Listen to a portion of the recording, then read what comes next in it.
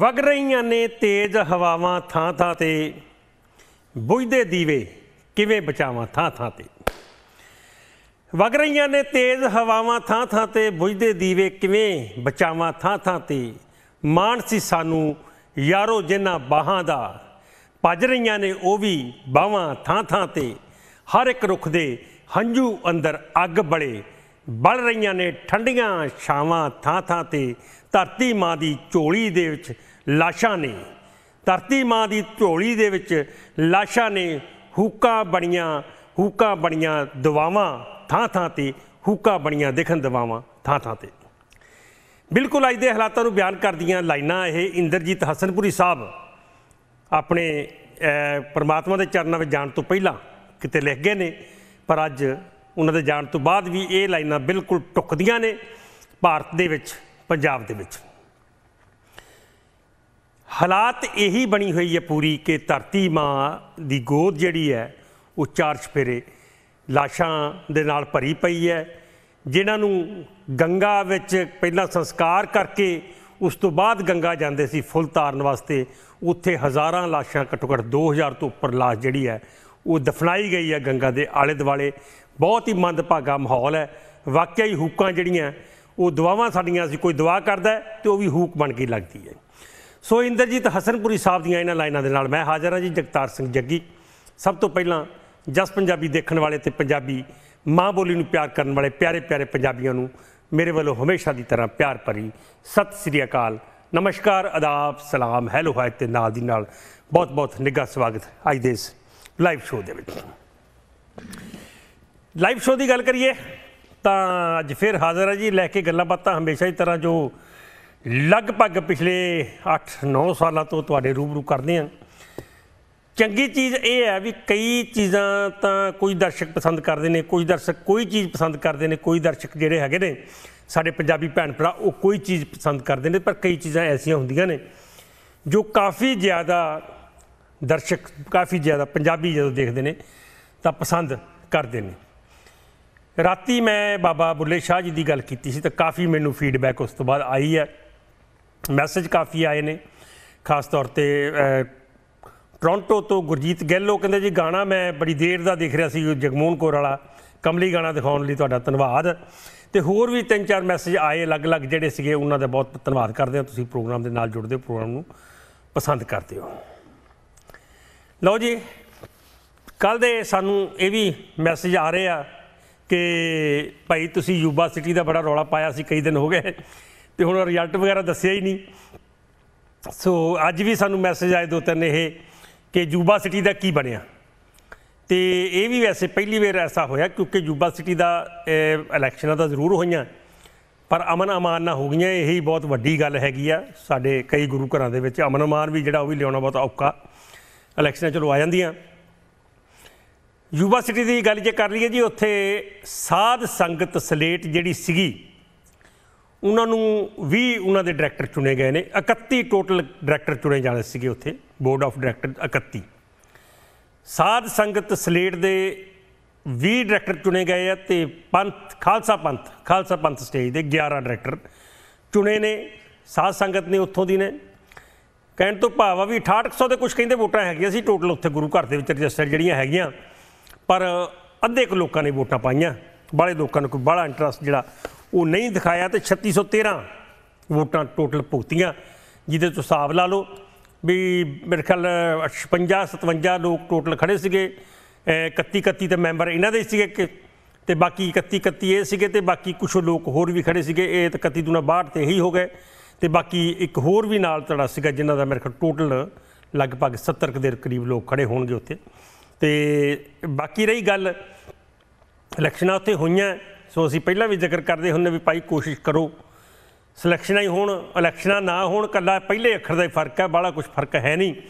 ਈ ਤੇ ਐਸ ਦਾ ਹੀ ਫ਼ਰਕ ਹੈ। ਸੋ ਫਿਰ ਵੀ ਇਲੈਕਸ਼ਨਾਂ ਉੱਥੇ ਅਮਨ ਅਮਾਨ ਨਾਲ ਹੋਈਆਂ, ਕਈਆਂ ਜਾ ਸਕਦੇ ਆ, ਭਾਵੇਂ ਕਿ ਪੁਲਿਸ ਵੀ ਸੀਗੀ ਉੱਥੇ ਪ੍ਰਾਈਵੇਟ ਸਿਕਿਉਰਿਟੀ ਵੀ ਸੀਗੀ ਪ੍ਰਾਈਵੇਟ ਵੀ ਉੱਥੇ ਬੁਲਾਏ ਹੋਏ ਸੀ ਬਾਉਂਸਰ ਭਾਈ ਕੋਈ ਉਨੀ ਕੀ ਹੋ ਸਕਦੀ ਹੈ। ਵਕੀਲ ਵੀ ਉੱਥੇ ਸੀਗੇ, ਦੋਹਾਂ ਧਿਰਾਂ ਦੇ, ਜਦੋਂ ਹੁਣ ਦੁਬਾਰਾ ਗਿਣਤੀ ਹੋਈ ਆ। ਗਿਣਤੀ ਅਸਲ ਦੇ ਵਿੱਚ ਐਤਵਾਰ ਹੋ ਗਈ ਸੀਗੀ। ਪਰ ਉਹ ਕੁਝ ਕਨਫਿਊਜ਼ਨ ਸੀਗਾ ਕੁਝ ਇੱਕ ਵੋਟਾਂ ਜਿਹੜੀਆਂ ਸੀਗੀਆਂ, ਉਹ ਕਿਸੇ ਦੀ ਇੱਕ ਵੋਟ ਵੱਧ ਸੀ, ਕਿਸੇ ਦੀ ਦੋ ਵੋਟ ਵੱਧ ਸੀ, ਤਾਂ ਉਹ ਕਹਿੰਦੇ ਵੀ ਦੁਬਾਰਾ ਫਿਰ ਵਕੀਲਾਂ ਦੀ ਹਾਜ਼ਰੀ ਦੇ ਵਿੱਚ ਅਸੀਂ ਗਿਣਤੀ ਕਰਨੀ ਆ। ਪਰ ਦੁਬਾਰਾ ਗਿਣਤੀ ਤੋਂ ਬਾਅਦ ਵੀ ਕੋਈ ਫ਼ਰਕ ਨਹੀਂ ਪਿਆ। ਐਤਵਾਰ ਸ਼ਾਮ ਦੀ ਖਬਰ ਵੀ ਇਹੀ ਸੀ ਵੀ 20 ਜਿਹੜੇ ਹੈਗੇ ਨੇ ਡਾਇਰੈਕਟਰ, ਉਹ ਸਾਧ ਸੰਗਤ ਸਲੇਟ ਦੇ ਹੈਗੇ ਆ ਤੇ 11 ਡਾਇਰੈਕਟਰ ਜਿਹੜੇ ਹੈਗੇ ਨੇ, ਉਹ ਖਾਲਸਾ ਪੰਥ ਸਟੇਜ ਦੇ ਚੁਣੇ ਗਏ ਸੀ ਤੇ ਉਹੀ ਹੁਣ ਹੈਗੇ ਨੇ। ਸੋ ਭਾਈ, ਪਹਿਲੀ ਗੱਲ ਤਾਂ ਇਲੈਕਸ਼ਨਾਂ ਨਾ, ਹੁਣ ਜੇ ਇਲੈਕਸ਼ਨਾਂ ਹੁੰਦੀਆਂ ਤਾਂ ਵੋਟ ਜ਼ਰੂਰ ਪਾਓ, ਚਾਹੇ ਕਿਤੇ ਵੀ ਹੁੰਦੀਆਂ ਇਲੈਕਸ਼ਨਾਂ। ਹੁਣ ਸਾਡੇ ਵੀ ਉੱਥੇ ਪਿਆ ਜੇ ਗੱਲ ਕਰੀਏ ਯੂਬਾ ਸਿਟੀ ਦੀ 50% ਵੋਟ ਪਈ ਹੈ। ਜੇ ਹੋਰ ਪੈ ਜਾਂਦੀ, ਸ਼ਾਇਦ ਮਾਹੌਲ ਕੁਝ ਹੋਰ ਹੁੰਦਾ। ਚਲੋ, ਖੈਰ, ਆਪਾਂ ਇਹ ਜਿਹੜੀ ਗੱਲ ਹੈਗੀ ਤੁਹਾਡੇ ਸਾਹਮਣੇ ਖਬਰ ਸਾਂਝੀ ਕਰ ਦਿੱਤੀ ਹੈ।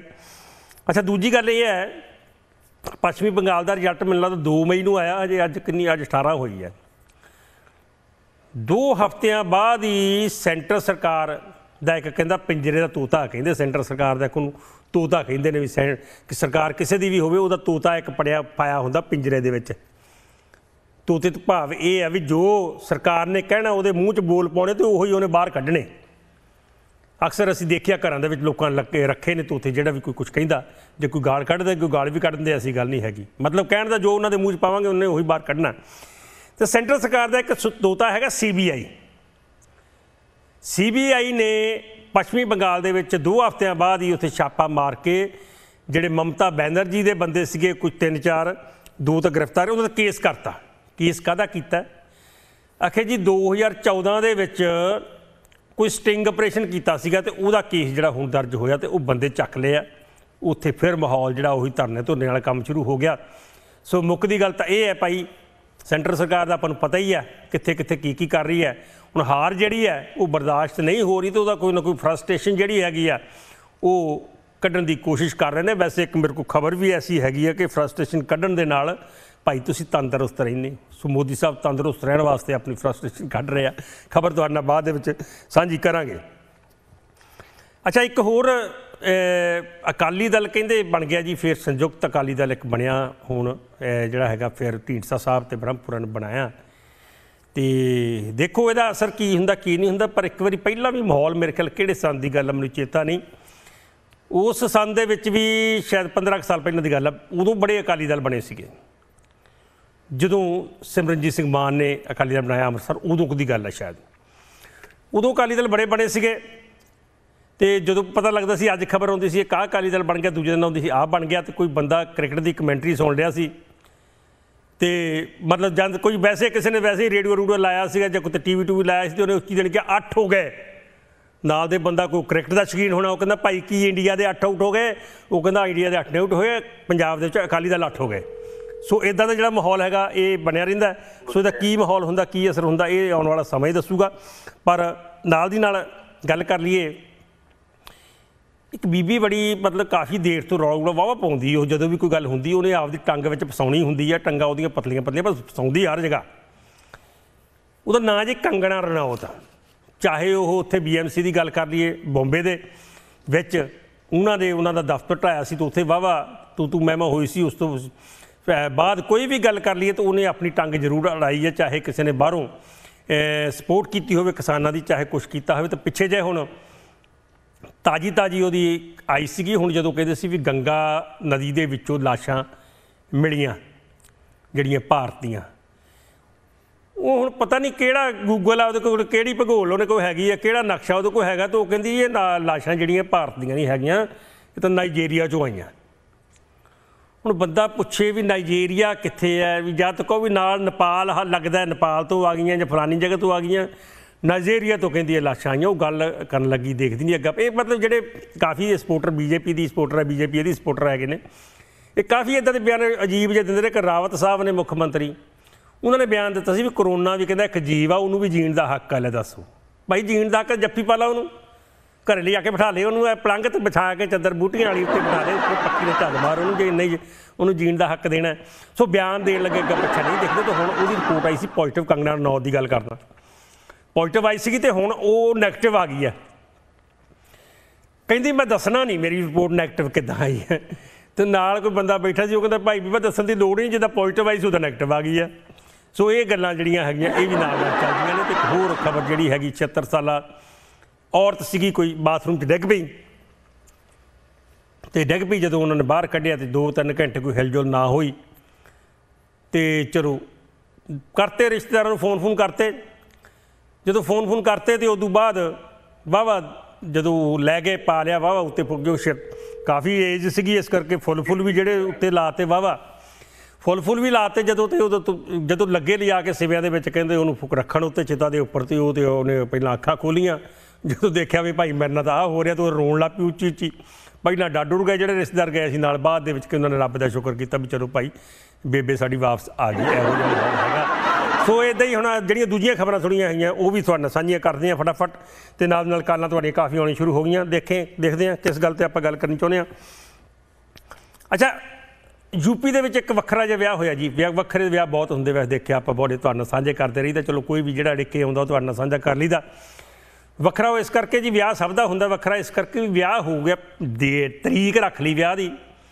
ਤੇ ਵਿਆਹ ਤੋਂ ਪੰਜ ਚਾਰ ਦਿਨ ਪਹਿਲਾਂ ਕੁੜੀ ਮੁੱਕਰ ਕੁੜੀ ਕਹਿੰਦੀ, ਮੈਂ ਨਹੀਂ ਇੱਥੇ ਵਿਆਹ ਕਰਾਉਣਾ।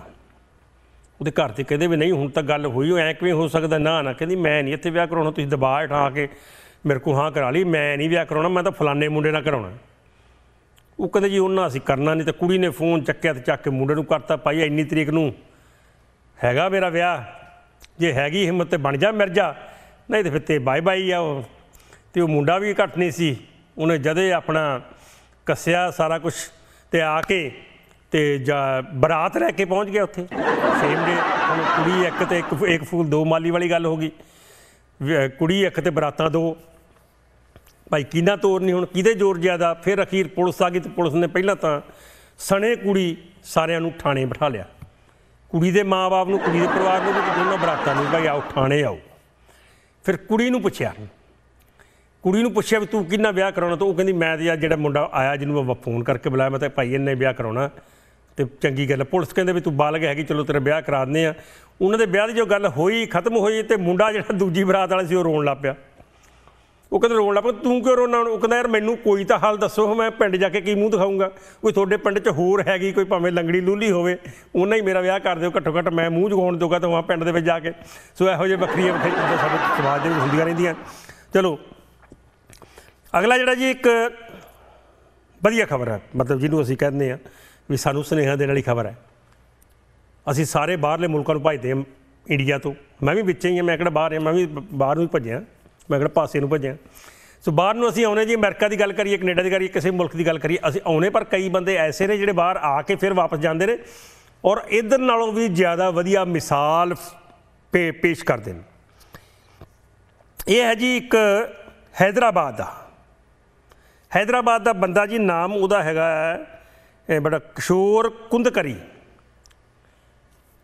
ਸਟੱਡੀ ਕੀਤੀ ਇੰਡੀਆ ਇੰਜੀਨੀਅਰਿੰਗ ਦੀ, ਫਿਰ ਅਮਰੀਕਾ ਪੜਨ ਆ ਗਿਆ ਡੀ ਕੀਤੀ। ਬੜੀ ਵੱਡੀ ਪੋਸਟ ਤੇ ਆਈਟੀ ਬਹੁਤ ਵੱਡੇ ਆਈਟੀ ਦੇ ਕਿਸੇ ਉਹਦੇ ਵਿੱਚ ਕੰਮ ਕਰ ਰਿਹਾ ਸੀ, ਬਹੁਤ ਵੱਡਾ। ਤੇ ਚਿੱਤ ਚ ਉਹਦੇ ਪਤਾ ਨਹੀਂ ਕੀ ਆਈ, ਉਹ ਕਹਿੰਦਾ ਜੀ, ਹਮ ਤੋਂ ਵਾਪਸ ਜਾਏਂਗੇ ਭਾਈ ਹੈਦਰਾਬਾਦ ਚਲੇ ਗਿਆ। ਤੇ ਜਾ ਕੇ ਉਮੀਦ ਇਹ ਸੀ ਵੀ ਉੱਥੇ ਕੰਮ ਕਰ ਕਰੂਗਾ। ਜਾ ਕੇ ਉਹਨੇ ਕੀ ਕੀਤਾ ਜੀ 20 ਗਾਈਆਂ ਲਈਆਂ। ਇਹ 2012 ਦੀ ਗੱਲ ਹੈ। 20 ਗਾਈਆਂ ਲਈਆਂ ਤੇ 2012 ਤੋਂ ਲੈ ਕੇ 10 ਸਾਲ ਹੋ ਗਏ ਜੀ, ਅੱਜ ਲਾ ਲਓ 9 ਸਾਲ ਹੋਏ ਨੇ। ਤੇ 2012 ਤੋਂ ਲੈ ਕੇ ਉਹਨੇ ਆਹ 8 9 10 8 9 ਸਾਲ ਦੇ ਵਿੱਚ ਇਨਕਮ ਕਿੰਨੀ ਕੀਤੀ ਆਪਣੀ, ਸੁਣ ਕੇ ਅਸੀਂ ਹੈਰਾਨ ਰਹਿ ਜਾਾਂਗੇ। 2019 ਦੇ ਵਿੱਚ ਉਹਦੀ ਇਨਕਮ ਥੋੜੀ ਸੀ, ਪਰ 2021 ਵਿੱਚ ਉਹਦੀ ਇਨਕ- ਇਨਕਮ 44 ਕਰੋੜ ਰੁਪਈਆ ਸਾਲਾਨਾ। 44 ਕਰੋੜ ਤੋਂ ਭਾਵ ਕਹਿ ਸਕਦੇ ਜੀ, ਮਹੀਨੇ ਦਾ ਹਿਸਾਬ ਲਾਉਣਾ ਹੋਵੇ ਤਾਂ 12 ਨਾਲ ਕਰ ਲਓ ਗੁਣਾ, ਤਕਸੀਮ ਕਰ ਲਓ। 12 ਨਾਲ ਤਾਂ ਮੇਰੇ ਖਿਆਲ 3 3.5 ਕਰੋੜ 3.5 ਕਰੋੜ ਮਹੀਨੇ ਦਾ ਬਣਦਾ ਹੈ। ਤੇ ਗਾਈਆਂ ਉਹਦੇ ਕੋਲ ਹੁਣ 10000 ਕਸਟਮਰ ਨੇ। ਗਾਈਆਂ ਦੇ, ਗਾਈਆਂ ਦਾ ਦੁੱਧ ਵੇਚਦਾ ਤੇ ਉਹ ਪ੍ਰੋਡਕਟ ਜਿਹੜੇ ਬਣੇ ਨੇ ਉਹ ਵੇਚਦਾ। ਸੋ ਇਹੋ ਜਿਹੇ ਬੰਦੇ ਵੀ ਹੈਗੇ ਆ। ਜੇ 3.5 ਕਰੋੜ ਰੁਪਈਆ ਉੱਥੇ ਲਾਈਏ ਤੇ ਇਧਰਲੇ ਡਾਲਰ ਵੀ ਜਿੰਨੇ ਮਰਜ਼ੀ ਬਣਾ ਲਈਏ, ਜਿੰਨੇ ਮਰਜ਼ੀ ਲਾ ਲਈਏ, ਵੱਡੀ ਤੋਂ ਵੱਡੀ ਨੌਕਰੀ ਦੇ, ਤਾਂ ਵੀ ਮੇਰੇ ਖਿਆਲ ਉਹਨੇ ਨਹੀਂ ਬਣਦੇ। ਸੋ ਭਾਈ, ਇਹੋ ਜਿਹੇ ਕੰਮ ਵੀ ਅਸੀਂ ਕਰ ਸਕਦੇ ਸਾਰੇ। ਕਹਿਣ ਤੋਂ ਭਾਵ ਹੈ ਜੇ ਇਹ ਬੰਦਾ ਇਹ ਕਰ ਸਕਦਾ ਇੱਕ ਪੜ੍ਹਿਆ ਲਿਖਿਆ ਉਹਨੂੰ ਕ- ਉਹ ਕਹਿਣ ਨਾਲ ਤੇ ਵੀ ਹੋਊਗਾ, ਹੁਣ ਤੂੰ ਪੜ੍ਹ ਲਿਖ ਕੇ ਤੂੰ ਗਾਈਆਂ ਦਾ ਗੋਹਾ ਚੱਕੇਗਾ, ਲੋਕੀ ਪਿੰਡੇ ਨੂੰ ਮਲੀ ਜਾਂਦੇ, ਹੁਣ ਤੂੰ ਗੋਹਾ ਚੱਕਦਾ ਫਿਰੇਗਾ। ਪਰ ਉਹਨੇ ਕਿਸੇ ਦੀ ਪਰਵਾਹ ਨਹੀਂ ਕੀਤੀ ਤੇ ਅੱਜ ਵੈਲ ਸੈਟਲਡ ਇਨ ਇੰਡੀਆ ਚਲੋ। ਚੰਦਰਨਗਰ ਦੀ ਇੱਕ ਹੋਰ ਖਬਰ ਹੈ ਜੀਬ ਜੀ ਲੋਕਡਾਊਨ ਦੀ ਖਬਰ ਹੈ, ਤੇ ਬੰਦਾ ਕੋਈ ਬਾਹਰ ਤੁਰੇ ਜਾਂਦਾ ਸੀ ਤੇ ਪੁਲਿਸ ਨੇ ਰੋਕਿਆ। ਤੇ ਪਹਿਲਾਂ ਤਾਂ ਡਾਂਗ ਚੱਕੀ ਪੁਲਿਸ ਵਾਲਿਆਂ ਨੇ, ਪਰ ਉਹਦੇ ਗਲ 'ਚ ਫੱਟਾ ਪਾਇਆ, ਦੇਖਿਆ ਤੇ ਉਹ ਪੁਲਿਸ ਨੇ ਡਾਂਗ ਆਪਣੀ ਰੋਕ ਲਈ ਉਹਨੇ। ਉਹਨੇ ਪੁੱਛਿਆ, ਕਿੱਧਰ ਮੂੰਹ ਚੱਕਿਆ ਤੂੰ? ਉਹਨੇ ਫੱਟੇ ਦੇ ਉੱਪਰ ਲਿਖਿਆ ਸੀ ਵੀ ਮੈਂ, ਮੇਰਾ ਰਸਗੁੱਲਾ ਖਾਣ ਨੂੰ ਬਹੁਤ ਦਿਲ ਕਰਦਾ ਤੇ ਮੈਂ ਰਸਗੁੱਲੇ ਲੈਣ ਜਾ ਰਿਹਾ। ਪੁਲਿਸ ਵਾਲੇ ਕਹਿੰਦੇ, ਰਸਗੁੱਲੇ ਤਾਂ ਨਹੀਂ ਮਿਲਣੇ, ਡੰਡੇ ਜ਼ਰੂਰ ਮਿਲ ਸਕਦੇ ਆ, ਡੰਡਾ ਦੇਖ ਲੈ, ਜੇ ਜਾਨਾ ਆਪਣੇ ਆਪ ਚੱਲ ਜਾ। ਨਹੀਂ ਤਾਂ ਫਿਰ ਭਜਾਨੇ ਤੈਨੂੰ, ਅਸੀਂ ਖਵਾਉਣੇ ਰਸਗੁੱਲੇ, ਦੇਖ ਫਿਰ ਰਸਗੁੱਲੇ ਵਰਗਾ ਤੈਨੂੰ ਕਰ ਦੇਣਾ ਮਾਰ ਮਾਰ ਕੇ ਫੇਰ ਆ ਕੇ ਦੱਸਿਆ ਨਹੀਂ ਸੀ। ਤੇ ਉਹ ਬੰਦਾ ਫਿਰ ਰਸਗੁੱਲੇ ਨਹੀਂ ਖਾਣ ਖਾਦੇ ਉਹਨੇ, ਘਰੇ ਹੀ ਚੱਲ ਗਿਆ ਰਸਗੁੱਲਿਆਂ ਦਾ ਜਿਹੜਾ ਉਹਦਾ ਚਾਅ ਸੀ, ਉਹਨੇ ਦਬਾ ਲਿਆ ਅੰਦਰ ਹੀ ਆਪਣੇ। ਦਬਾ ਲੈਣਾ ਚਾਹੀਦਾ, ਚੰਗੀ ਗੱਲ ਹੈ ਡਾਂਗਾ ਨਾਲੋਂ ਚੰਗਾ। ਆ ਜਿਹੜੀ ਮੈਂ ਗੱਲ ਕਰਦਾ ਸੀ ਵੀ ਮੋਦੀ ਸਾਹਿਬ ਫਰਸਟ੍ਰੇਸ਼ਨ ਕੱਢ ਰਹੇ ਨੇ ਆ ਪੱਛਮੀ ਬੰਗਾਲ ਦੀ ਗੱਲ ਕਰੋ, ਖਬਰ ਆ ਗਈ ਉਹ। ਇਹ ਇਹ ਹੈਗਾ ਜੀ, ਕੀਨ ਯੂਨੀਵਰਸਿਟੀ ਹੈ ਕੋਈ, ਕੀਨ ਯੂਨੀਵਰਸਿਟੀ। ਹੋਏਗੀ ਮਸ਼ਹੂਰ, ਜਿਹੜੇ ਪੜ੍ਹੇ ਲਿਖੇ ਬੰਦੇ ਉਹਨੂੰ ਪਤਾ ਹੋਣਾ। ਕੀਨ ਯੂਨੀਵਰਸਿਟੀ ਨੇ ਇੱਕ ਸਰਵੇ ਕੀਤਾ, ਇੱਕ ਸਰਵੇ ਉਹਨਾਂ ਨੇ ਕੱਢਿਆ, ਉਹਦਾ ਨਿਚੋੜ ਕੱਢਿਆ ਗੱਲਾਂ ਦਾ, ਵੀ ਜਿਹੜੇ ਲੋਕ ਜ਼ਿਆਦਾ ਗਾਲਾਂ ਕੱਢਦੇ ਨੇ, ਕਿਸੇ ਨੂੰ ਬੁਰਾ ਭਲਾ ਕਹਿੰਦੇ ਨੇ, ਉਹ ਤੰਦਰੁਸਤ ਰਹਿੰਦੇ ਨੇ ਦਿਮਾਗੀ ਤੌਰ ਤੇ। ਲਓ ਜੀ। ਹੁਣ ਜੇ ਘਰ ਵਾਲਾ ਘਰ ਨੂੰ ਗਾਲਾਂ ਕੱਢ ਰਿਹਾ ਤਾਂ ਉਹਨੇ ਕਹਿਣਾ, ਕੀ ਇਹ ਕਿਉਂ ਕੱਢ ਰਿਹਾ ਗਾਲਾਂ? ਉਹ ਕਹਿੰਦਾ, ਨਹੀਂ, ਮੈਂ ਤਾਂ ਆਪਦਾ ਦਿਮਾਗ ਤੰਦਰੁਸਤ ਕਰ ਰਿਹਾ, ਤੈਨੂੰ ਤਾਂ ਕੁਝ ਨਹੀਂ ਕਹਿ ਰਿਹਾ ਮੈਂ। ਸੋ ਉਹਨਾਂ ਦਾ ਇਹ ਕਹਿਣਾ ਹੈ ਕਿ ਜਦੋਂ ਕੋਈ ਫਰਸਟ੍ਰੇਸ਼ਨ ਕੱਢਦਾ ਹੈ, ਮਤਲਬ ਜਦੋਂ ਕੋਈ ਮੂੰਹ 'ਚੋਂ ਗਾਲ ਵੈਸੇ ਵੀ ਨਿਕਲਦੀ ਹੈ ਤੇ ਉਦੋਂ ਨਿਕਲਦੀ ਜਦੋਂ ਬੰਦਾ ਗੁੱਸੇ 'ਚ ਹੁੰਦਾ ਹੈ। ਇਸ ਯੂਨੀਵਰਸਿਟੀ ਦਾ ਇਹ ਕਹਿਣਾ ਵੀ ਭਾਈ ਗੁੱਸੇ ਦੇ ਵਿੱਚ ਜਦੋਂ ਗਾਲ ਬੰਦਾ ਕੱਢਦਾ, ਦਿਮਾਗ ਉਹਦਾ ਸਕੂਨ ਮਿਲ ਜਾਂਦਾ, ਦਿਮਾਗ ਨੂੰ ਰਿਲੈਕਸ ਹੋ ਜਾਂਦਾ। ਸੋ ਇਹ ਜਿਹੜੇ ਬੁਰਾ ਭਲਾ ਕਹਿੰਦੇ ਨੇ, ਦੂਏ ਨੂੰ ਦੇ ਦੇ ਫਰਸਟ੍ਰੇਸ਼ਨ ਆਪਣੀ ਕੱਢ ਲੈਂਦੇ ਨੇ, ਜਿਵੇਂ ਹੁਣ ਮੋਦੀ ਸਾਹਿਬ ਕੱਢ ਲੈਂਦੇ ਉਹਨਾਂ ਇਦਾਂ ਕਰਕੇ। ਪਰ ਉਹਨਾਂ ਦੀ ਫਰਸਟ੍ਰੇਸ਼ਨ ਹੀ ਪਤਾ ਨਹੀਂ ਕਿੰਨੀ ਕੁ ਨਿਕਲਦੀ ਨਹੀਂ ਹੈਗੀ ਪੂਰੇ ਭਾਰਤ ਦੇ ਵਿੱਚ ਉਹਨਾਂ ਦੀ ਫਰਸਟ੍ਰੇਸ਼ਨ ਨਹੀਂ ਨਿਕਲੀ ਉਹਨਾਂ ਦਿਮਾਗ ਚੋਂ, ਤੇ ਉਹ ਨਿਕਲ ਨਹੀਂ ਪਤਾ ਕਿਦਾਂ ਮੁੱਕਦੀ ਗੱਲ ਇਹ ਹੈ ਕਿ ਜਦੋਂ ਸਾਡੇ ਦਿਮਾਗ ਦੇ ਵਿੱਚ ਕੋਈ ਟੈਨਸ਼ਨ ਹੁੰਦੀ ਆ, ਉਦੋਂ ਹੀ ਗਾਲ ਨਿਕਲ ਜਦੋਂ ਅਸੀਂ ਰਿਲੈਕਸ ਆ। ਉਦੋਂ ਗਾਲ ਨਹੀਂ ਨਿਕਲਦੀ। ਇਹਨਾਂ ਦਾ ਇਹ ਕਹਿਣਾ ਵੀ ਜਦੋਂ ਮੰਦਾ ਚੰਗਾ ਮਾੜਾ ਕਿਸੇ ਨੂੰ ਕਹਿ ਲੈਂਦੇ ਆ, ਤੇ ਤੁਹਾਡਾ ਮਨ ਜਿਹੜਾ ਉਹ ਰਿਲੈਕਸ ਹੋ ਜਾਂਦਾ, ਸਕੂਨ ਮਿਲ ਜਾਂਦਾ ਵੀ ਭਾਈ, ਹਾਂ, ਸੁੱਖ ਦਾ ਸਾਹ ਆ ਗਿਆ। ਹੁਣ ਕਈਆਂ ਨੂੰ ਤਾਂ ਵੈਸੇ ਵੀ ਜਿੰਨੀ ਦੇਰ ਕਹਿਣ ਨਾ ਲੈਣ, ਪੰਜ ਸੱਤ ਦੀ ਚੁਗਲੀ ਉਨੀ ਦੇਰ ਸੁੱਖ ਦਾ ਸਾਹ ਆਉਂਦਾ ਨਹੀਂ ਹੈਗਾ। ਔਰ ਆਪਣੇ ਇੰਡੀਆ ਦੀ ਗੱਲ ਕਰੀਏ ਤਾਂ ਮੇਰੇ ਖਿਆਲ 7-800 ਗਾਲ ਤਾਂ ਜੇ ਲੁਧਿਆਣੇੋਂ ਦਿੱਲੀ ਜਾਣਾ ਹੋਵੇ, ਲੱਗ ਜਾਂਦੀ ਸੀ ਪਹਿਲਾਂ। ਜਦੋਂ ਸਿੰਗਲ ਰੋਡ ਸੀਗੀ, ਟਰੱਕਾਂ ਵਾਲਿਆਂ ਨੂੰ ਕੱਢਦੇ, ਕੋਈ ਰਿਕਸ਼ੇ ਵਾਲਾ ਆ ਗਿਆ, ਕੋਈ ਰੇਹੜੀ ਵਾਲਾ ਆ ਗਿਆ ਕਿ ਕਿਸੇ ਨੂੰ ਆ, ਕਿਸੇ ਨੂੰ ਆ ਗਿਆ। ਪਰ ਭਾਈ ਇਹ ਉਹਨਾਂ ਦੀ ਰਿਸਰਚ ਹੈ ਇਹਦਾ ਮਤਲਬ ਇਹ ਨਹੀਂ ਵੀ ਆਪਾਂ ਉੱਠ ਕੇ ਕਿਸੇ ਨੂੰ ਵੀ ਗਾਲਾਂ ਕੱਢਣ ਲੱਗ ਪਈਏ। ਅਗਲੇ ਨੇ ਅਗਰ ਛਿੱਤਰ ਲਾਣ ਹੁਣ ਕਹਿੰਦਾ ਗਾਲ ਕੱਢ ਕੇ ਦਿਖਾ ਦੂ ਕੱਢਦਾ ਕਿਵੇਂ ਜੇ ਆਪਦੀ ਫਰਸਟ੍ਰੇਸ਼ਨ ਕੱਢਣੀ ਜਾ ਕੇ ਜੰਗਲਾਂ ਚੱਲ ਜਾ, ਉੱਥੇ ਕੱਢੀ ਜਾ ਗਾਲਾਂ, ਜਾ ਕੇ ਦਰਖਤਾਂ ਨੂੰ ਜਾ ਕੇ ਲੈ ਜਾਨਵਰਾਂ ਨਾਲ ਪੰਗੇ। ਸੋ ਇਹ ਰਿਸਰਚ ਹੈਗੀ ਆ, ਇਹਦੇ 'ਚ ਅਸੀਂ ਕੋਈ ਬਾਹਲੀ ਇਹ ਗੱਲ ਨਹੀਂ ਕਹਿੰਦੇ ਵੀ ਭਾਈ ਤੁਸੀਂ ਵਾਕਈ ਤੁਸੀਂ ਵੀ ਗਾਲਾਂ ਕੱਢ ਕੇ ਆਪਣੇ ਆਪ ਨੂੰ ਸੌਖੇ ਹੋਵੋ। ਲਓ ਜੀ, ਇੱਕ ਗੋਲ ਗੱਪੇ ਸਾਰੇ ਖਾਦੇ ਹੋਣੇ ਆ, ਸਭ ਨੇ। ਗੋਲ ਗੱਪੇ ਨਾ ਨਾਲ ਹੀ ਮੂੰਹ 'ਚ ਪਾਣੀ ਆ ਜਾਂਦਾ। ਪਾਣੀ ਪੂਰੀ ਵੀ ਕਹਿ ਦਿੰਦੇ ਕਈ ਨੂੰ। ਤੇ ਕਈ ਇਹਨੂੰ ਹੋਰ ਵੀ ਕਈ ਕੁਝ ਗੋਲ ਗੱਪੇ ਕਹਿ ਦਿੰਦੇ, ਪਾਣੀ ਪੂਰੀ ਕਹਿ ਦਿੰਦੇ, ਕੋਈ ਬਤਾਸੇ ਕਹਿ ਦਿੰਦਾ ਕਿਸੇ ਏਰੀਏ 'ਚ, ਕੋਈ ਪਤਾਸ਼ੇ ਵੀ ਕਹਿ ਦਿੰਦਾ। ਗੁੱਪ ਚੁੱਪ ਵੀ ਕਹਿ ਦਿੰਦੇ ਨੇ ਕਈ ਤੇ ਕਈ ਫੁਲਕੀ ਕਹਿ ਦਿੰਦੇ ਨੇ ਇਹਨੂੰ। ਅਲੱਗ-ਅਲੱਗ ਨਾਮ ਨੇ। ਪਰ ਕਿਸੇ ਨੂੰ ਇਹ ਨਹੀਂ ਪਤਾ ਵੀ ਗੋਲ ਗੱਪਾ ਆਇਆ ਕਿੱਥੋਂ। ਗੋਲ ਗੱਪਾ ਖਾਂਦੇ ਸਾਰੇ ਨੇ ਅਲੱਗ-ਅਲੱਗ। ਮਸ਼ਹੂਰ ਨੇ ਗੋਲ ਗੱਪੇ ਔਰ ਕਈ ਲੋਕੀ ਸਿਰਫ ਗੋਲ ਗੱਪੇ ਜਿਹੜੀ ਲਾਉਂਦੇ ਨੇ ਔਰ ਵਧੀਆ ਜ਼ਿੰਦਗੀ ਬਤੀਤ ਕਰਦੇ ਨੇ। ਇੱਥੇ ਸੈਕ- ਇੱਥੇ ਇੱਕ ਸਾਡੇ ਵੀ ਸਟੂਡੀਓ ਨੇੜੇ ਇੰਡੀਅਨ ਸਟੋਰ ਸੀਗਾ ਤੇ ਉੱਥੇ ਲੇਡੀ ਇੱਕ 5 ਤੋਂ 7 2 ਘੰਟੇ ਗੋਲਗੱਪੇ ਲਾਉਂਦੀ ਸੀ, ਆਪਣੀ ਰੇੜੀ ਐਨ ਇੰਡੀਆ ਵਾਲੀ ਬਣਾਈ ਸੀ ਉਹਨੇ। ਤੇ ਵਧੀਆ ਗੁਜ਼ਾਰਾ ਉਹਦਾ ਚੱਲਦਾ ਸੀ 2 ਘੰਟੇ 'ਚ, ਵਧੀਆ ਜਿੰਨਾ ਵੀ 5-400 ਡਾਲਰ ਬਣਾ ਕੇ ਤੇ ਘਰੇ ਚੱਲ ਜਾਂਦੀ ਸੀ ਉਹ। ਤੇ ਗੋਲ ਗੱਪਿਆਂ ਦੀ ਗੱਲ ਕਰੀਏ ਤੇ ਗੋਲ ਗੱਪੇ ਕਹਿੰਦੇ ਆਏ ਕਿੱਥੋਂ? ਸਵਾਲ ਇਹ ਪੈਦਾ ਹੋਇਆ ਗੋਲ ਗੱਪਿਆਂ ਦੀ ਪਹਿਲੀ ਰੈਸਪੀ ਕਿਹਨੇ ਬਣਾਈ ਔਰ ਹੈਰਾਨ ਕਰਨ ਵਾਲੇ ਤੱਥ ਨੇ ਮਤਲਬ ਹੈ ਤਾਂ ਹੋ ਸਕਦਾ ਦੰਦ ਕਥਾ ਹੀ ਹੋਵੇ, ਵੈਸੇ ਹੀ ਕਿਸੇ ਨੇ ਗੱਲ ਬਣਾਈ ਹੋਵੇ, ਪਰ ਗੋਲ ਗੱਪੇ ਜਿਹੜੇ ਹੈਗੇ ਨੇ ਗ੍ਰੀਕ ਦੇ ਇਤਿਹਾਸਕਾਰ ਆ, ਉਹ ਕਹਿੰਦੇ ਨੇ ਜਿਹੜੇ ਗ੍ਰੀਕ ਦਾ ਇਤਿਹਾਸਕਾਰ ਕੋਈ ਹੈਗਾ, ਮੇਗਾ ਸਨਿਕਸ ਕੋਈ ਨਾਂ ਆ, ਚੀਨ ਦਾ ਬਹੁਤ ਯਾਤਰੀ ਹੈਗਾ ਕੋਈ, ਉਹ ਉਹਨੇ ਫੈਕਸੀਅਨ ਦੇ ਕਹੇ, ਉਹਨਾਂ ਨੇ ਕਹਿਣ ਦਾ ਮਤਲਬ ਸੀ ਗੋਲ ਗੱਪੇ ਜਿਹੜੇ ਨੇ ਉਹ ਮਗਧ ਸਮਰਾਜਿਆ ਸੀਗਾ ਕੋਈ, ਮਗਧ ਸਮਰਾਜਿਆ। ਉੱਥੋਂ ਸ਼ੁਰੂ ਹੋਏ ਸੀਗੇ, ਬੰਗਾਲ ਵਾਲੇ ਪਾਸਿਓਂ ਤੇ ਬਿਹਾਰ ਵਾਲੇ ਪਾਸੇ ਚੱਲ ਗਏ, ਪਰ ਪਰ ਦੰਦ ਕਥਾ ਇਹ ਕਹਿੰਦੀ ਹੈ ਜੀ, ਗੋਲ ਗੱਪੇ ਸ਼ੁਰੂ ਹੋਏ ਨੇ ਜਦੋਂ ਕੌਰਵਾਂ ਤੇ ਪਾਂਡੂਆਂ ਦੀ ਜੰਗ ਹੋਈ ਹੈ। ਦ੍ਰੋਪਦੀ ਨੂੰ ਵਿਆਹ ਕੇ ਉਹ ਘਰੇ ਲਿਆਏ ਨੇ ਤੇ ਦ੍ਰੋਪਦੀ ਦੀ ਸੱਸ ਨੇ ਕਹਿੰਦੇ ਉਹਨੂੰ ਕਿਹਾ, ਦ੍ਰੋਪਦੀ ਨੂੰ ਵੀ ਤੂੰ ਲੈ ਵੀ ਆਪਦੇ ਪਤੀਆਂ ਨੂੰ ਕੋਈ ਵੱਖਰੀ ਜੀ ਚੀਜ਼ ਬਣਾ ਕੇ ਖਵਾ। ਤੇ ਉਦੋਂ ਕਹਿੰਦੇ ਵੀ ਉਹਨੇ ਇਹ ਗੋਲ ਗੱਪੇ ਟਾਈਪ ਕੋਈ ਚੀਜ਼ ਹੋਏਗੀ, ਬਾਅਦ ਦੇ ਵਿੱਚ ਇਦਾਂ ਦੇ ਬਣ ਗਏ। ਹੁਣ ਪਹਿਲਾਂ ਤਾਂ ਹੋ ਸਕਦਾ ਕੁਝ ਹੋਰ ਹੋਵੇ। ਕੋਈ ਦਿਮਾਗ 'ਚ ਹੋਣੀ ਰੈਸਪੀ ਰੁਸਪੀ ਉਹਦੀ ਦਾਦੀ ਨਾਨੀ ਨੇ ਦੱਸੀ ਕੋਈ। ਉਦੋਂ ਕਹਿੰਦੇ ਉਹਨੇ ਗੋਲ ਗੱਪੇ ਟਾਈਪ ਚੀਜ਼ ਬਣਾਈ ਸੀ, ਉਦੋਂ ਸ਼ੁਰੂ ਹੋਏ ਨੇ। ਇਹ ਇਹ ਕਿਸੇ ਦਾ ਕਹਿਣਾ, ਮੇਰਾ ਕਹਿਣਾ ਨਹੀਂ ਹੈਗਾ। ਇਹ ਹੋ ਸਕਦਾ ਸੱਚ ਹੋਵੇ, ਹੋ ਸਕਦਾ ਨਾ ਸੱਚ ਹੋਵੇ। ਠੀਕ ਹੈ ਜੀ, ਇੱਕ ਆਖਰੀ ਖਬਰ ਪੜ੍ਹ ਕੇ ਫਿਰ ਆਪਾਂ ਇਹ ਵਿਸ਼ੇ ਵੱਲ ਚੱਲਾਂਗੇ ਤੇ ਨਾਲ ਨਾਲ ਬ੍ਰੇਕ ਤੋਂ ਬਾਅਦ ਤੁਹਾਡੀਆਂ ਕਾਲਾਂ ਵੀ ਲਵਾਂਗੇ। ਆਪਣੇ ਭਾਰਤ ਦੀ ਗੱਲ ਕਰ ਲਈਏ ਤਾਂ ਤਕਰੀਬਨ ਹਿੰਦੂ ਧਰਮ ਜਾਂ ਸਿੱਖ ਧਰਮ ਜਾਂ ਹੋਰ ਕੋਈ ਧਰਮ ਜਿਹੜੇ ਹੈਗੇ ਨੇ, ਉਹਨਾਂ ਦੇ ਇੱਕ ਵਿਆਹ ਅਲਾਉਡ ਹੈ। ਤਲਾਕ ਤੋਂ ਬਿਨਾਂ ਦੂਜਾ ਵਿਆਹ ਨਹੀਂ ਕਰਾ ਸਕਦੇ। ਪਾਕਿਸਤਾਨ ਦੇ ਵਿੱਚ ਚਾਰ ਵਿਆਹ ਮੁਸਲਮਾਨ ਭੈਣ ਭਰਾ, ਪਾਕਿਸਤਾਨ ਦੇ ਵਿੱਚ ਨਹੀਂ ਜਿੱਥੇ ਮੁਸਲਮਾਨ ਭੈਣ ਭੈਣ ਭਰਾ ਦੁਨੀਆ ਦੇ ਕਿਸੇ ਵੀ ਕੋਨੇ 'ਚ ਉਹ ਚਾਰ ਵਿਆਹ ਕਰਾ ਸਕਦੇ ਨੇ। ਚਲੋ, ਚੌਂ ਤੱਕ ਵੀ ਠੀਕ ਹੈ ਤੇ ਜੇ ਅਸੀਂ ਸੋਚੀ ਵੀ ਕਿਸੇ ਬੰਦੇ ਨੇ 16 ਵਿਆਹ ਕਰਾਏ ਤੇ 17ਵੇਂ ਦੀ ਤਿਆਰੀ ਹੈ ਫੇਰ ਤਾਂ ਗੱਲ ਵਾਕਈ ਹੈਰਾਨੀ ਵਾਲੀ ਹੈ ਇਹ ਜ਼ਿੰਬਾਬਵੇ ਦਾ ਬੰਦਾ ਜੀ, ਮਿਸ਼ਾਕ ਨਾਇੰਦਰੋ ਮਿਸ਼ਾਕ ਨਾਇੰਦਰੋ ਆ ਫੋਟੋ ਦੇ ਵਿੱਚ ਗੋਲਧਾਰੇ ਦੇ ਵਿੱਚ ਬੰਦਾ ਹੈਗਾ ਜੀ ਵਾਵਾ ਉਮਰ ਤਾਂ ਵਾਵਾ ਲੱਗਦੀ ਹੈ ਦੇਖਣ ਨੂੰ, ਬੜਾ ਜਿਹਾ। ਇਹਦੀਆਂ 16 ਪਤਨੀਆਂ ਨੇ 151 ਬੱਚੇ ਨੇ ਤੇ 17ਵਾਂ ਵਿਆਹ ਹੁਣ ਕਰਾਉਣ ਜਾ ਰਿਹਾ ਇਹ 16 ਵਿਆਹ ਕਰਾ ਤੇ ਪਤੰਦਰ ਨੂੰ ਮੈਨੂੰ ਸਮਝ ਨਹੀਂ ਆਉਂਦੀ, ਹੁਣ ਕਵਾਂ ਕਵਾਂ ਕੀ ਇਹਨੂੰ ਦਾਤ ਦੇ ਵਜ੍ਹਾ ਕੀ ਕਵਾਂ? ਮਤਲਬ ਹਜੇ ਇਹਦੀ ਸੋਚ ਕਹਿੰਦਾ, ਮੈਂ ਤਾਂ ਹਜੇ ਤੁਸੀਂ ਇੱਥੇ ਹੀ ਤੁਰੇ ਫਿਰਦੇ ਹੋ, ਅਜੇ ਤੱਕ 151 ਹੋਏ ਨੇ, ਮੈਂ ਤਾਂ 1000 ਬੱਚੇ ਪੈਦਾ ਕਰਨੇ ਨੇ ਦੁਨੀਆ 'ਚ। ਤੇ ਲੋਕੀ ਕਹਿੰਦੇ, ਭਾਈ ਕੋਈ ਕੰਮ ਵੀ ਕਰ ਲਿਆ ਕਰ। ਇੰਨਾ ਇੱਧਰਲੇ ਪਾਸੇ ਨਾ ਰਹਿ। ਸੋ ਇਹ ਇਹ ਆਪੋ ਆਪਣੇ ਕਹਿ ਸਕਦੇ ਕਈਆਂ ਦੇ, ਵੈਸੇ ਕਈਆਂ ਦੇ ਦਿਮਾਗ ਦੇ ਵਿੱਚ ਇਸ ਤਰ੍ਹਾਂ ਬਣਿਆ ਹੁੰਦਾ ਕੋਈ ਕਿ ਮੈਂ ਆ ਕੰਮ ਕਰਨਾ ਹੀ ਕਰਨਾ, ਉਹ ਲੱਗੇ ਰਹਿੰਦੇ ਨੇ, ਇਹ ਵੀ ਵਿਚਾਰਾ ਲੱਗਿਆ, ਹੁਣ 17 ਵਿਆਹ ਕਰਾ ਲਿਆ। ਹੁਣ ਬਾਕੀ ਇਹ ਸਮਝ ਨਹੀਂ ਆਉਂਦੀ ਵੀ ਇਹ ਕਿਵੇਂ ਮੈਨੇਜ ਕਰਦਾ ਹੋਊਗਾ। ਵੀ ਇਹਨੂੰ ਪੁੱਛ ਭਾਈ ਤੂੰ ਪਹਿਲੀਆਂ ਦੋ ਤਿੰਨ ਜਿਹੜੀਆਂ ਮੈਨੇਜ ਕੀਤੀਆਂ, ਉਹੀ ਦੱਸਦੇ ਸੀ, ਉਹਨਾਂ ਚੋਂ ਹੀ ਆਪਦੇ ਚੰਗੇ ਚੰਗੇ ਚੀਜ਼ਾਂ ਕੱਢ ਲਾਂਗੇ। ਚਲੋ ਖੈਰ, ਆਪਾਂ ਹੁਣ ਜਿਹੜਾ ਬ੍ਰੇਕ ਵਾਲੇ ਪਾਸੇ ਜਾਣਾ ਪਹਿਲਾਂ। ਤੇ ਬ੍ਰੇਕ ਤੇ ਜਾਣ ਤੋਂ ਪਹਿਲਾਂ ਮੈਂ ਵਿਸ਼ਾ ਜਿਹੜਾ ਹੈਗਾ ਅੱਜ ਦਾ ਥੋੜਾ ਜਿਹਾ ਸੰਦੇ ਆ ਕੇ ਕਰਨੇ ਚਲੋ ਟਾਈਮ ਵਾਵਾ ਹੋ ਗਿਆ ਬ੍ਰੇਕ ਦਾ ਟਾਈਮ ਕਾਫੀ ਲੰਘ ਗਿਆ, ਲੰਬਾ ਹੋ ਗਿਆ ਸੈਗਮੈਂਟ। ਤੇ ਬ੍ਰੇਕ ਤੋਂ ਬਾਅਦ ਅਸੀਂ ਗੱਲਬਾਤ ਕਰਾਂਗੇ, ਤੁਹਾਡੀਆਂ ਕਾਲਾਂ ਵੀ ਲਵਾਂਗੇ ਕਿ, ਤੇ ਕੋਈ ਵੀ ਗੱਲਬਾਤ ਕਰਨੀ ਚਾਹੁੰਦੇ ਹੋ, ਕਰ ਸਕਦੇ ਹੋ ਆਪ ਕਾਲ ਕਰਕੇ। ਦਿਲ ਦੇ ਵਰਵਲੇ ਲੱਖਾਂ ਪੰਜਾਬੀ ਜਿਹੜੇ ਦੇਖ ਰਹੇ ਨੇ, ਸੁਣ ਰਹੇ ਨੇ ਪੂਰੀ ਦੁਨੀਆ ਦੇ ਵਿੱਚ, ਉਹਨਾਂ ਨਾਲ ਸਾਂਝੇ ਆਪਾਂ ਕਰ ਸਕਦੇ, ਫਿਲਹਾਲ ਬ੍ਰੇਕ ਲੈਣ ਦੇਖਦੇ ਰਹੋ, ਜਸ ਪੰਜਾਬ। ਬ੍ਰੇਕ ਤੋਂ ਬਾਅਦ ਇੱਕ ਵਾਰ ਫਿਰ ਸਵਾਗਤ ਹੈ ਜੀ। ਬਹੁਤ ਬਹੁਤ ਤੇ ਹਾਜ਼ਰ ਹੈ। ਤੁਹਾਡੀਆਂ ਕਾਲਾਂ ਆਉਣੀ ਸ਼ੁਰੂ ਹੋ ਗਈਆਂ, ਪਰ ਆਪਾਂ ਫਿਰ ਵੀ ਵਿਸ਼ੇ ਦੀ ਛੋਟੀ ਜੀ ਗੱਲ ਕਰਦੇ ਹੁੰਦੇ। ਵੈਸੇ ਤਾਂ ਗੱਲ ਕਰੀਏ ਤਾਂ ਖਬਰਾਂ ਦੇ ਵਿੱਚੋਂ ਵੀ ਤੁਸੀਂ ਕਿਸੇ ਵੀ ਖਬਰ ਤੇ ਗੱਲ ਕਰਨੀ ਚਾਹੋ ਤਾਂ ਕਰ ਸਕਦੇ ਹੋ। ਅਦਰਵਾਈਜ਼ ਗੱਲ ਕਰੀਏ ਤੇ ਆਪਾਂ ਅਕਸਰ ਗੱਲ ਕਰੀਦੀ ਹੈ, ਪੈਸੇ ਦੀ ਗੱਲ ਕਰੀਦੀ ਹੈ। ਕਹਿੰਦੇ ਦੇਖੋ ਕੀ ਕੀ ਰੰਗ ਦਿਖਾਏ, ਦੇਖੋ ਪੈਸੇ ਨੇ, ਥਾਂ ਥਾਂ ਵੈਰ ਪਵਾਏ, ਦੇਖੋ। ਪੈਸੇ ਨੇ ਪਿੰਡ ਵਿੱਚ ਜਿਨ੍ਹਾਂ ਦੀ ਦੁੱਕੀ ਜਿੰਨੀ ਕਦਰ ਨਹੀਂ ਸੀ, ਉਹ ਬਾਬੇ ਰੱਬ ਬਣਾਏ, ਦੇਖੋ ਪੈਸੇ ਨੇ। ਤੇ ਜਿਹੜੇ ਕਈ ਕਈ ਗੱਭਰੂ ਸੋਹਣੇ ਸੁਨੱਖੇ ਫਿਰਨ ਕੁਵਾਰੇ ਜੀ ਤੇ ਕਈ ਬੁੱਢੇ ਫੇਰ ਵਿਆਹੇ, ਬਲਕਿ ਕਈ ਕਈ ਵੇਰ ਵਿਆਹੇ ਦੇਖੋ ਪੈਸੇ। ਸੋ ਪੈਸੇ ਦੀ ਅਸੀਂ ਗੱਲ ਕਰਦੇ ਹਾਂ ਅੱਜ ਮੈਂ ਇਸ ਕਰਕੇ ਕਰ ਰਿਹਾ ਕਿ ਘਰਾਂ ਘੁਰਾਂ ਦੀ ਗੱਲ ਮੈਂ ਵੀ ਪਿੱਛੇ ਜੇ ਉਹਦਾ ਘਰ ਲਿਆ ਤੇ ਘਰ ਘੁਰ ਜਦੋਂ ਦੇਖਦੇ ਆਲੇ ਦੁਆਲੇ ਮੈਂ ਹੈਰਾਨ ਰਹਿ ਗਿਆ ਦੇਖ ਕੇ ਸੁਣ ਕੇ ਵੀ ਅਮਰੀਕਾ ਦੀ ਗੱਲ ਕਰੀਏ ਤੇ ਭਾਰਤ ਦਾ ਵੀ ਸ਼ਾਇਦ ਭਾਰਤ ਦੇ ਵਿੱਚ ਤਾਂ ਅੱਜ ਦੀ ਗੱਲ ਕਰ ਲਈਏ ਤਾਂ ਜ਼ਮੀਨ ਅਸਮਾਨ ਦਾ ਫ਼ਰਕ ਹੈਗਾ। ਅਮਰੀਕਾ ਦੀ ਅਗਰ ਅਸੀਂ ਗੱਲ ਕਰੀਏ ਤਾਂ ਜੇ ਮੈਂ ਘਰਾਂ ਤੋਂ ਆਪਾਂ ਗੱਲ ਸ਼ੁਰੂ ਕਰਦੇ ਹਾਂ ਕਿ ਘਰਾਂ ਦੀ ਕਹਿੰਦੇ ਕੀਮਤ ਲੱਖ ਲੱਖ, ਡੇਢ ਡੇਢ ਲੱਖ ਉੱਪਰ ਹੈਗੀ ਆ।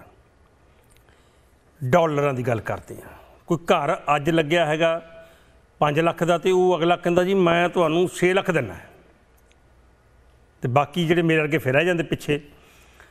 ਇੱਥੋਂ ਤੱਕ ਕਿ ਇੱਕ ਘਰ ਲੱਗਿਆ ਸੀ 5 ਲੱਖ 95 ਹਜ਼ਾਰ ਦਾ, ਕਿਸੇ ਨੇ ਆਫਰ ਪਾਤੀ ਤੇ ਉਹਨੇ ਵਾਪਸ ਲੈ ਲਿਆ। ਅਗਲੇ ਦਿਨ ਉਹ ਘਰ ਲੱਗਿਆ 7 ਲੱਖ 65 ਹਜ਼ਾਰ ਦਾ। ਉਹ ਤੁਹਾਡਾ ਭਲਾ ਹੋ ਜਾਵੇ ਹੱਦੀ ਹੋ ਗਈ। ਤੇ ਮੇਰੀ ਗੱਲ ਇਹ ਕਹਿਣਾ ਚਾਹੁੰਦਾ ਸੀ, ਪੈਸੇ ਦੀ ਪੈਸੇ ਦੀ ਵੈਲਿਊ ਜਿਹੜੀ ਹੈਗੀ ਆ, ਇੱਕ ਸਮਾਂ ਸੀ ਪੈਸੇ ਦੀ ਵੈਲਿਊ ਬੜੀ ਹੁੰਦੀ ਸੀ।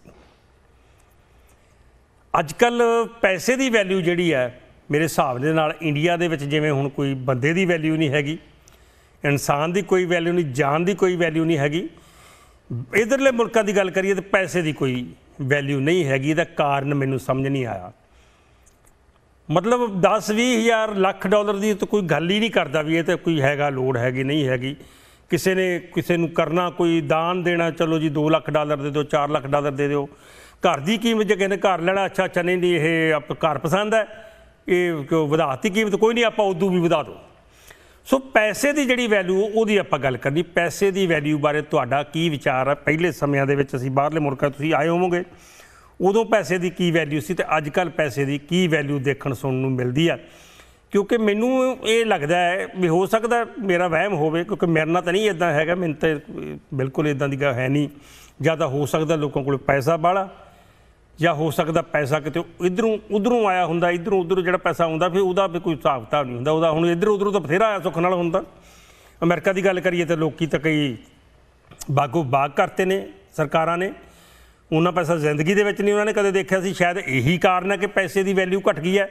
ਕਿਉਂਕਿ ਜਿਹੜਾ ਅਸੀਂ ਮਿਹਨਤ ਨਾਲ ਪੈਸਾ ਕਮਾਇਆ, ਉਹਦੀ ਇੱਕ ਇੱਕ ਪੈਸੇ ਦੀ ਵੈਲਿਊ ਹੁੰਦੀ ਹੈ। ਮੈਂ ਪਹਿਲਾਂ ਵੀ ਗੱਲ ਤੁਹਾਡੇ ਨਾਲ ਸਾਂਝੀ ਕੀਤੀ ਸੀ। ਪਿੰਡ, ਕਿਸੇ ਪਿੰਡ ਦੇ ਵਿੱਚ ਕੋਈ ਬੱਚਾ ਰੋਜ਼ ਪੈਸੇ ਮੰਗਦਾ ਸੀ।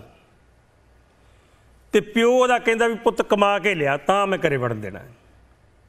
ਜਿੱਧਰ ਕਮਾ ਕੇ ਲਿਆਏਗਾ, ਬੱਚਾ ਕਹਿ ਲਓ, ਮੁੰਡਾ ਕਹਿ ਲਓ, ਨੌਜਵਾਨ ਕਹਿ ਲਓ, ਕਮਾ ਕੇ ਲਿਆਏਗਾ, ਤਾਂ ਮੈਂ ਘਰੇ ਵੜਨ ਦੇਣਾ ਤੇ ਲਓ ਜੀ, ਉਹ ਕਮਾਉਣ ਜਾਂਦਾ ਸੀ, ਕਿਤੇ ਉਹਨੂੰ ਕੋਈ ਕੰਮਕਾਰ ਮਿਲਦਾ ਨਹੀਂ ਸੀ ਜਾਂ ਕਰਨ ਨੂੰ ਦਿਲ ਨਹੀਂ ਸੀ ਕਰਦਾ, ਘਰੇ ਆਉਂਦਾ ਸੀ, ਉਹਦੀ ਮਾਂ ਉਹਨੂੰ 100 ਰੁਪਿਆ ਫੜਾਉਂਦੀ ਸੀ।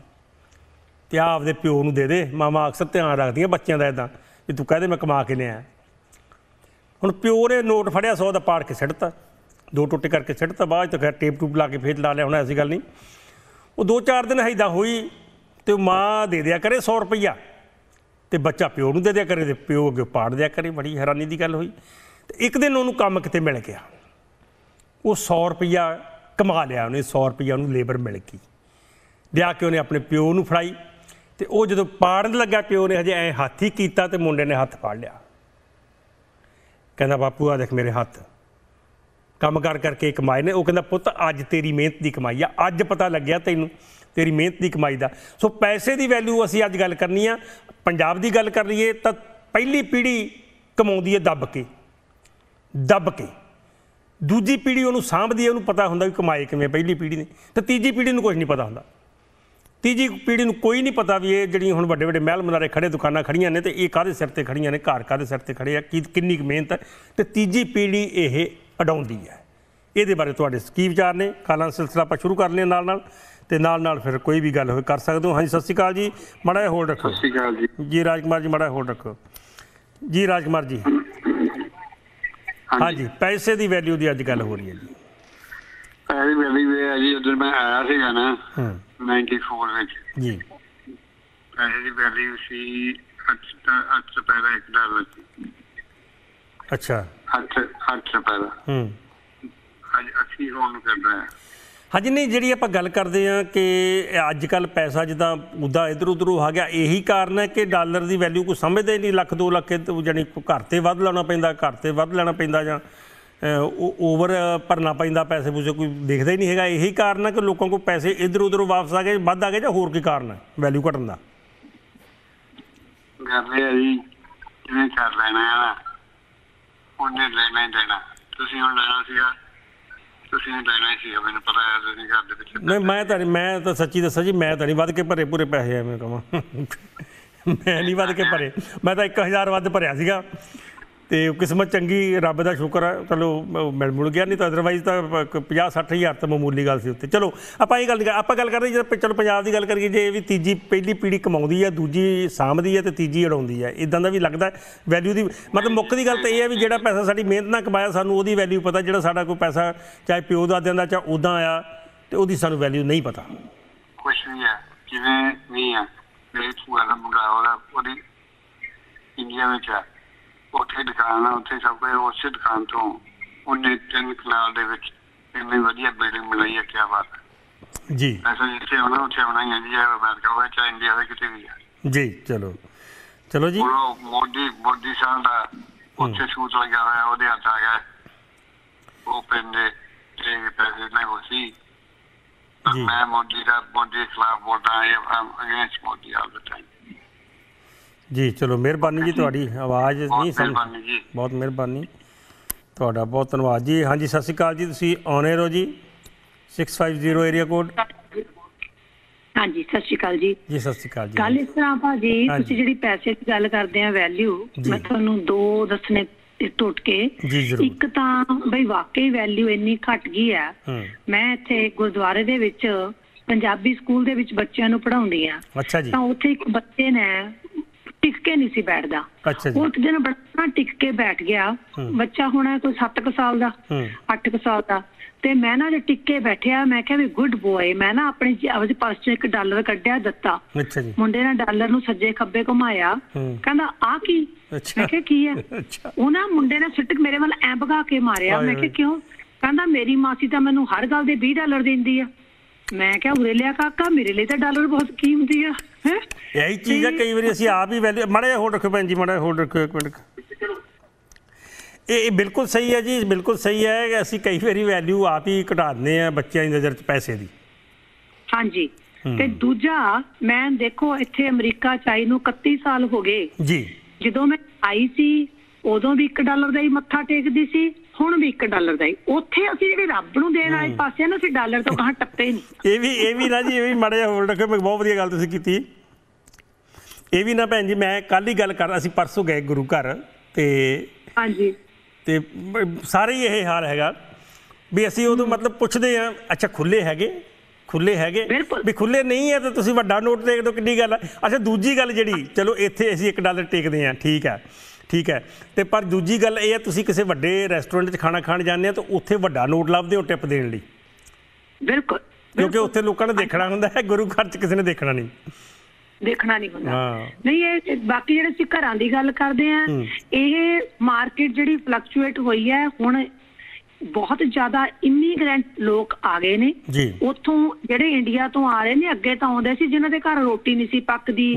ਬਈ ਚਲੋ ਬਾਹਰ ਪੈਸੇ ਬਣਾਈਏ। ਹੁਣ ਲੋਕ ਨਸ਼ਿਆਂ ਦੇ ਕਰਕੇ ਡਰਦੇ ਬੱਚਿਆਂ ਨੂੰ ਕੱਢਦੇ ਨੇ। ਅਮੀਰ ਘਰਾਂ ਦੇ ਕਾਕੇ ਆਉਂਦੇ ਨੇ। ਅਮੀਰ ਲੋਕ ਆਪਣੇ ਪੈਸਿਆਂ ਨੂੰ ਡਾਲਰਾਂ 'ਚ ਕਨਵਰਟ ਕਰਕੇ ਲਿਆ ਰਹੇ ਨੇ। ਇਹ ਸਿਰਫ ਇੰਡੀਅਨ ਨਹੀਂ ਚਾਈਨੀਜ਼ ਸਾਰੇ ਲੋਕ ਆ ਰਹੇ ਨੇ। ਉਹ ਕੈਸ਼ ਚੱਕੀ ਫਿਰਦੇ ਨੇ। ਤਾਂ ਇਸ ਕਰਕੇ ਜਿਹੜੀ ਕੀਮਤ ਹੈ ਨਾ ਉਹ ਵੱਧ ਗਈ ਸਪਲਾਈ ਉਨੀ ਕੀ ਹੈ। ਜਿਹੜੀ ਡਿਮਾਂਡ ਹੈ ਪਾਪੂਲੇਸ਼ਨ ਵਧਣ ਦੇ ਨਾਲ। ਤੇ ਪੈਸੇ ਕੈਸ਼ 'ਚ ਹੋਣ ਕਰਕੇ ਉਹ ਬਹੁਤ ਵੱਧ ਗਏ। ਮੇਰਾ। ਖਿਆਲ ਹੈ ਵੀ ਇਹੀ ਕਾਰਨ ਬਿਲਕੁਲ ਜੀ ਬਿਲਕੁਲ। ਬਹੁਤ ਮਿਹਰਬਾਨੀ ਭੈਣ ਜੀ। ਬਹੁਤ। ਮਿਹਰਬਾਨੀ ਤੁਹਾਡੀ। ਹੈਲੋ ਹਾਂਜੀ ਸਤਿ ਸ਼੍ਰੀ ਅਕਾਲ ਜੀ। ਤੁਸੀਂ ਆਨਰ ਹੋ ਜੀ 416 ਟੋਰਾਂਟੋ। ਜੀ ਸਤਿ ਸ਼੍ਰੀ ਅਕਾਲ ਜੀ। ਤੁਸੀਂ ਆਨਰ ਹੋ ਜੀ। 416 ਏਰੀਆ ਕੋਡ ਟੋਰਾਂਟੋ। ਹੈਲੋ ਹਾਂਜੀ ਭਾਈ ਸਤਿ ਸ਼੍ਰੀ ਅਕਾਲ ਜੀ ਜੀ। ਸਤਿ ਸ਼੍ਰੀ ਅਕਾਲ ਭੈਣ ਜੀ ਹਾਂਜੀ। ਕੀ ਕਹਿਣਾ ਚਾਹੁੰਦੇ? ਟੀਵੀ ਦੀ ਆਵਾਜ਼ ਘੱਟ ਕਰਿਓ ਜੀ। ਓਕੇ ਭਾਜੀ। ਜੀ। ਹਾਂਜੀ ਭਾਜੀ ਤੁਸੀਂ ਸਾਡੀ ਨਾ ਮੈਰਿਜ ਤੇ ਆਏ ਸੀ। ਅੱਛਾ ਜੀ ਇੱਥੇ ਕਿੱਥੇ ਇੰਡੀਆ ਕਿ ਇੱਥੇ? ਇੰਡੀਆ ਇੰਡੀਆ ਜੀ। ਵਾਹ ਜੀ ਵਾਹ। ਕਿਹੜੇ ਕਿਹੜੇ? ਨਵੰਬਰ ਦੇ ਵਿੱਚ ਜੀ ਮੇਰੇ ਹਸਬੰਡ ਕਹਿੰਦੇ ਤੁਸੀਂ ਵੀ ਦੇਖੋ ਪਛਾਣਿਆ। ਮੈਂ ਤਾਂ ਬਿਲਕੁਲ ਨਹੀਂ ਸੀ ਪਛਾਣਿਆ ਤੁਹਾਡੇ ਪੱਗ ਬੰਨੀ ਹੋਈ ਸੀਗੀ। ਅੱਛਾ ਉਹ ਕਹਿੰਦੇ ਜੀ। ਜਗਤਾਰ ਸਿੰਘ ਭਾਜੀ ਨੇ। ਹਰਭਜਨ ਪਾ ਨਾਲ ਦੇ ਆਏ ਸੀਗੇ ਤੁਸੀਂ ਸਤਕਾਰ ਪੈਲਸ ਦੇ ਵਿੱਚ ਖੰਨੇ ਜੀ। ਚਾਰ ਪੰਜ ਮਾਰਨਾ ਕਾਫੀ ਹੋ ਗਈ। 2002 ਦੇ ਵਿੱਚ। ਕਾਫੀ ਹਾਂਜੀ ਹਾਂਜੀ ਹਾਂਜੀ ਹਾਂਜੀ ਹਾਂਜੀ ਕਾਫੀ ਦੇਰ ਹੋ ਗਈ ਹਾਂਜੀ। ਆ ਪ੍ਰੋਗਰਾਮ ਸੀ ਸਾਡਾ ਉੱਤੇ। ਚਲੋ ਚਲੋ ਜੀ ਚਲੋ ਬਹੁਤ ਵਧੀਆ ਹੈ ਬੜੀ ਖੁਸ਼ੀ ਹੋਈ ਗੱਲ ਕਰਕੇ। ਹਾਂਜੀ ਹਾਂਜੀ ਹਾਂਜੀ ਕਿਉਂਕਿ ਮੈਂ ਤਾਂ ਦੇਖੋ ਤੁਸੀਂ। ਮੈਂ ਤਾਂ ਪੱਗ ਨਹੀਂ ਬਣੀ ਤੁਸੀਂ ਮੈਨੂੰ ਫਿਰ ਵੀ ਪਛਾਣ ਮੈਂ ਤਾਂ ਤੁਹਾਨੂੰ ਦੇਖਿਆ ਹੀ ਨਹੀਂ ਤੁਸੀਂ ਉਹ ਮਤਲਬ ਤੁਸੀਂ ਸੀਗੇ ਉਹਦਾ ਮੈਨੂੰ ਪਤਾ ਤੁਹਾਡੀ ਜੋੜੀ ਬਹੁਤ ਸੋਹਣੀ ਸੀਗੀ। ਤੇ ਇਦਾਂ ਫਿਰ ਵੀ ਇਹਨੇ ਧਿਆਨ ਨਹੀਂ ਬਹੁਤ ਛੋਟੀ ਉਮਰ ਦੇ ਵਿੱਚ ਹੋਈ ਸੀ ਇਹ ਹਾਂਜੀ ਹਾਂਜੀ। ਅੱਛਾ ਜੀ ਚਲੋ ਬੜੀ ਚੰਗੀ ਗੱਲ ਹੈ ਤੇ ਪੈਸੇ ਦੀ ਵੈਲਿਊ ਬਾਰੇ ਕੀ ਵਿਚਾਰ ਨੇ। ਜੀ ਤੁਹਾਡੇ? ਪੈਸੇ ਦੀ ਵੈਲਿਊ ਜਿਹੜੀ ਖਤਮ ਹੁੰਦੀ ਜਾ ਰਹੀ ਖਾਸ ਤੌਰ ਤੇ ਅਸੀਂ ਅਮਰੀਕਾ ਕੈਨੇਡਾ ਦੀ ਗੱਲ ਕਰ ਰਹੇ ਹਾਂ। ਹਾਂਜੀ ਇਹ ਤਾਂ ਹੈਗਾ ਜਿੱਦਾਂ ਪਹਿਲੀ ਪੀੜ੍ਹੀ ਨੂੰ ਬੰਦੇ ਨੂੰ ਕੰਮ ਕਰਨਾ ਪੈਂਦਾ ਨਾ ਅੱਗੇ ਅੱਗੇ ਜਦੋਂ ਜ਼ਿਆਦਾ ਆਈ ਜਾਂਦੇ ਉਹਨਾਂ ਨੂੰ ਪਤਾ ਹੀ ਨਹੀਂ ਲੱਗਦਾ ਕਿੱਦਾਂ ਬਣਦਾ ਹਨਾ ਪੈਸਾ ਵੀ ਕੀ ਚੀਜ਼ ਹੈਗੀ ਹੈ ਜੀ। ਇਹ ਨਾ ਹਾਂਜੀ, ਜੀ ਸਾਰਾ ਕੁਝ ਹੀ ਭੈਣ ਜੀ ਸਾਡੇ ਨਾ ਮੈਂ ਚੰਡੀਗੜ੍ਹ ਦੇ ਉੱਥੇ ਕੰਮ ਕਰਦੇ ਸੀ ਜਿੱਥੇ ਅਸੀਂ ਮੈਂ ਦੁਕਾਨ ਮਾਲਵਾ ਟਾਇਰ ਸੀਗਾ ਉਹ ਮੈਂ ਤਿੰਨੇ ਪੀੜ੍ਹੀਆਂ। ਦੇਖੀਆਂ ਮੈਂ ਤਕਰੀਬਨ ਤਕਰੀਬਨ ਪਹਿਲਾਂ ਬਜ਼ੁਰਗ ਸੀਗੇ ਉਹਨਾਂ ਨੇ ਦੱਸਦੇ ਸੀ ਮਿਹਨਤ ਬਹੁਤ ਕੀਤੀ ਤੇ ਕਰਕੇ ਤੇ ਬੜਾ ਕੁਝ ਬਣਾਇਆ ਤੇ ਬੜਾ ਕੁਝ। ਕੁਝ ਵੀ ਬਣਾਇਆ ਤੇ ਬੜੀ ਆਲੇ ਦੁਆਲੇ ਬੜੀ ਬਣੀ ਬਣਾਈ ਉਹਨਾਂ ਦੀ ਸਾਰੇ ਅਸਰ ਰਸੂਖ ਲੋਕਾਂ ਵਿੱਚ ਵੀ ਤੇ ਨਾਲ ਪੁਲਿਸ ਥਾਣੇ ਲੀਡਰਾਂ ਨਾਲ ਸਾਰੇ ਅਸਰ ਰਸੂਖ ਦੂਜੀ ਪੀੜ੍ਹੀ ਦਾ ਵੀ ਇਦਾਂ ਹੀ ਕਿਉਂਕਿ ਉਹ ਖਰਚਾ ਕਰਦੇ ਸੀਗੇ ਸਾਰਿਆਂ ਤੇ ਕਿਸੇ ਨੂੰ ਪੱਗ ਖਰਚਾ ਚਾਹ ਪਾਣੀ। ਪਿਉਣਾ ਤੇ ਤੀਜੀ ਪੀੜ੍ਹੀ ਆਏ ਮੁੰਡੇ ਜਦੋਂ ਸਾਡੇ ਤੋਂ ਛੋਟੇ ਛੋਟੇ ਹੁਣ ਜਵਾਕ ਸੀਗੇ ਤੇ ਉਹਨਾਂ ਨੇ ਕਿਸੇ ਨਾਲ ਮਿਲਵਰਤਨ ਨਹੀਂ ਕੋਈ ਪੁਰਾਣਾ ਬੰਦਾ ਨਹੀਂ ਰੱਖਿਆ ਉੱਥੇ ਕ- ਕੰਮ ਤੇ ਬਾਕੀ ਸਾਰੇ ਕੱਢ ਕੁੱਟ ਦਿੱਤੇ। ਤੇ ਕਿਸੇ ਨੂੰ। ਉਹ ਹੁਣ ਪਹਿਲਾਂ ਜਿਹੜੇ ਬਜ਼ੁਰਗ ਸੀ ਉਹ ਪੁਲਿਸ ਵਾਲਿਆਂ ਦੇ ਫ੍ਰੀ ਕੰਮ ਕਰਦੇ ਸੀ ਕੋਈ ਉਹਦਾ ਕੋਈ ਬੰਦਾ ਆ ਗਿਆ ਮਿਲ ਵਰਤਣ ਵਾਲਾ ਉਹਦੇ ਫ੍ਰੀ ਕਰਤਾ। ਇਹਨਾਂ ਨੇ ਬਿਲਕੁਲ ਹੀ ਉਲਟ ਕਰਤਾ। ਮਤਲਬ ਪੈਸਾ ਵੀ ਉਡਾ ਰਹੇ ਨੇ ਤੇ ਬੜੀ ਬਣਾਈ ਵੀ ਖਤਮ ਕਰ ਰਹੇ ਨੇ ਤੀਜੀ ਪੀੜ੍ਹੀ ਜਿਹੜੀ। ਉਹੀ ਹੈ ਨਾ ਪੈਸੇ ਨੂੰ ਸਮਝਦੇ ਨਹੀਂ। ਕਈ ਜਿੱਦਾਂ ਸਾਂਭ ਲੈਂਦੇ ਆ ਕਈ ਜਿੱਦਾਂ ਹੁੰਦਾ ਵਾ ਵੀ ਸਾਡੇ ਕੋਲੇ ਬਹੁਤ ਆ ਬਸ ਏਦਾਂ ਕਰ ਕਰਕੇ ਕਈ ਜ਼ਿਆਦਾ ਖਰਚੇ ਕਰੀ ਜਾਂਦੇ ਆ ਜੀ ਕੁਝ ਜੀ, ਹੋ ਜਾਂਦਾ ਜੀ। ਮਿਹਰਬਾਨੀ ਜੀ ਬਹੁਤ ਗੱਲ ਕਰਨ। ਲਈ। ਬਹੁਤ ਵਧੀਆ। ਹਾਂਜੀ। ਮਿਹਰਬਾਨੀ। ਮੈਂ ਤਾਂ ਪਛਾਣਿਆ ਨਹੀਂ ਸੀ ਬਿਲਕੁਲ ਵੀ। ਤੇ ਜਿੱਦਾਂ ਕਹਿੰਦੇ ਭਾਜੀ ਨੇ ਆਪਣੇ। ਮੈਰਿਜ ਤੇ ਆਏ ਸੀਗੇ। ਮੈਂ ਕਿਹਾ ਮੈਂ ਪਛਾਣੀ ਨਹੀਂ ਕਹਿੰਦੇ। ਚਲੋ ਸਟੇਜ ਦੀ ਫੋਟੋ ਹੋਊਗੀ ਜੀ। ਫਿਰ ਦੇਖਿਓ ਕਿ ਮਿਹਰਬਾਨੀ ਬਹੁਤ ਤੁਹਾਡੀ। ਹੈਲੋ ਜੀ ਸਤਿ ਸ਼੍ਰੀ ਅਕਾਲ ਜੀ ਤੁਸੀਂ ਔਨ 에ਅਰ 203 ਏਰੀਆ ਕੋਡ ਸਤਿ ਸ਼੍ਰੀ ਅਕਾਲ ਭਾਈ। ਜੀ ਸਤਿ ਸ਼੍ਰੀ ਅਕਾਲ ਜੀ ਕੌਣ ਬੋਲ ਰਹੇ? ਅਨਿਲ ਬੋਲਦਾ ਜੀ। ਹਾਂਜੀ ਅਨਿਲ ਜੀ ਕੀ ਕਹਿਣਾ ਚਾਹੁੰਦੇ ਜੀ? ਕੀ ਵਿਚਾਰ ਕੋਈ ਪੂਰੀ ਦੁਨੀਆ ਨਾਲ ਸਾਂਝੇ ਕਰਨੇ ਚਾਹੁੰਦੇ? ਭਾਈ ਪੈਸੇ ਦੀ ਵੈਲਿਊ ਤਾਂ ਹੈਗੀ ਆ ਜੀ ਹੁਣ ਇਹਦੇ ਗੋਰੇ ਜਿਹੇ ਇੱਥੇ ਕਾਲੇ ਜਿਹੇ ਆਪਾਂ ਸਟੋਰ ਦਾ ਕੰਮ ਕਰਦੇ ਦੇਖਦੇ ਆ ਅਸੀਂ ਲੋਕ। ਹਾਂਜੀ। ਇਹਨਾਂ ਵਾਸਤੇ 500 ਡਾਲਰ ਬਹੁਤ ਵੱਡੀ ਚੀਜ਼ ਆ ਜੀ। ਹਾਂ ਇਹ ਤਾਂ ਮੇਰੇ ਖਿਆਲ ਕਹਿੰਦੇ ਵੀ ਜੇ ਕੋਈ 19 ਕੀ ਕਰਨੀ ਆ ਤੇ ਇਹ ਤਾਂ 100 ਡਾਲਰ ਪਿੱਛੇ ਵੀ ਕਰ ਦਿੰਦੇ।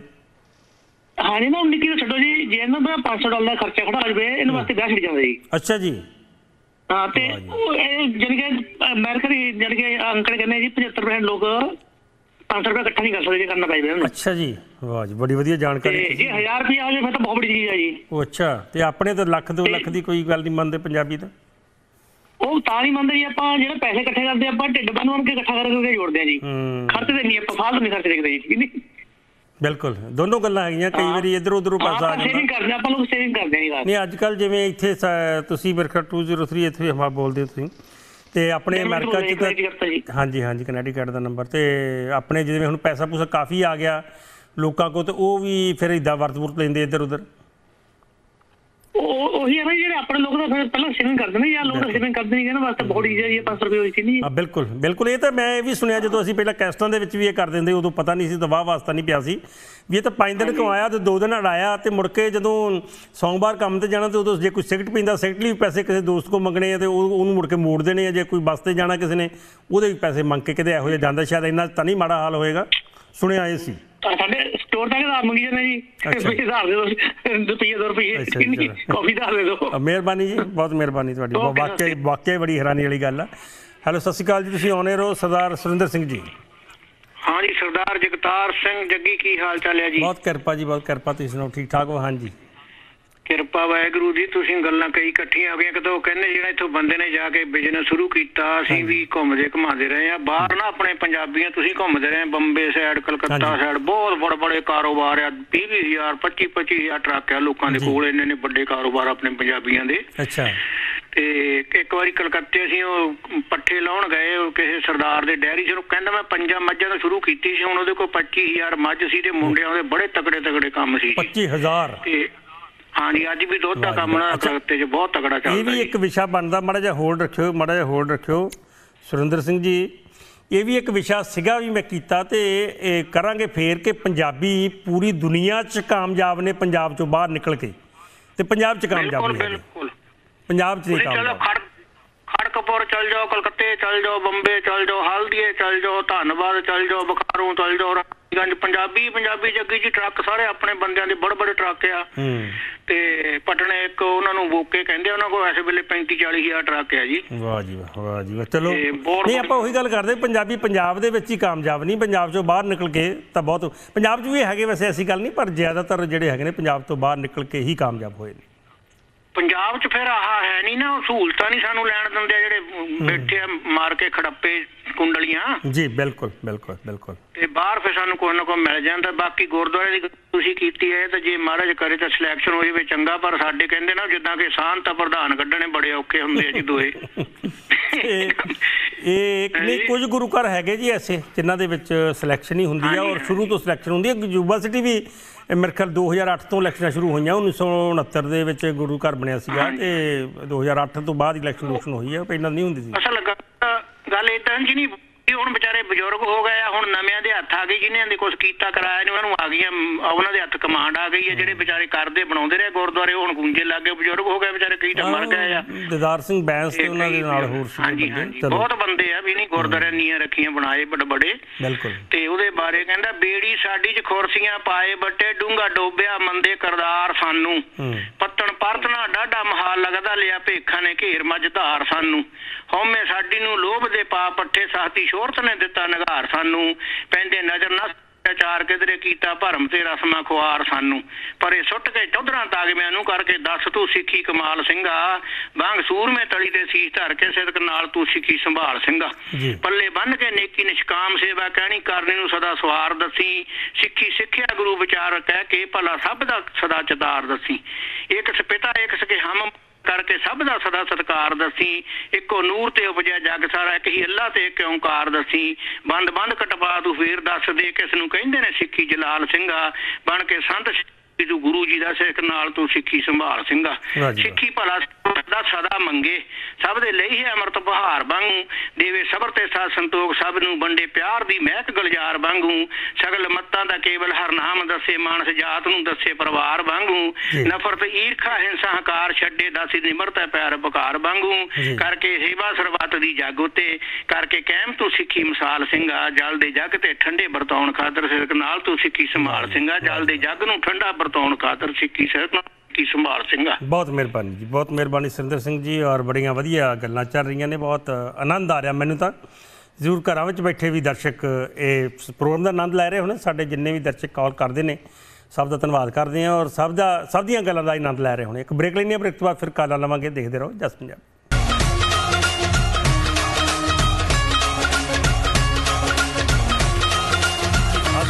ਫਿਰ ਤੇ ਨਾਲ ਦੀ ਨਾਲ ਆਪਾਂ ਕਾਲਾਂ ਵਾਲੇ ਪਾਸੇ ਚੱਲਦੇ ਹਾਂ ਤੁਹਾਡੇ ਵਿਚਾਰ ਜਾਣਦੇ ਹਾਂ। ਕੀ ਹੈ ਜੀ? ਗੱਲਬਾਤ ਚੱਲ ਰਹੀ ਆ ਪੈਸੇ ਦੀ ਵੈਲਿਊ ਦੀ ਗੱਲ ਚੱਲ ਰਹੀ ਆ ਕਿਸੇ ਵੀ ਤਰੀਕੇ ਨਾਲ ਆਪਣੀ ਗੱਲ ਰੱਖ ਸਕਦੇ। ਜੀ ਸਤਿ ਸ਼੍ਰੀ ਅਕਾਲ ਜੀ ਤੁਸੀਂ ਆਨ 에ਅਰ ਹੋ ਜੀ? ਸਤਿ ਸ਼੍ਰੀ ਅਕਾਲ ਜੀ। ਜੀ ਸਤਿ ਸ਼੍ਰੀ ਅਕਾਲ ਸਰ ਕੌਣ ਬੋਲਦੇ?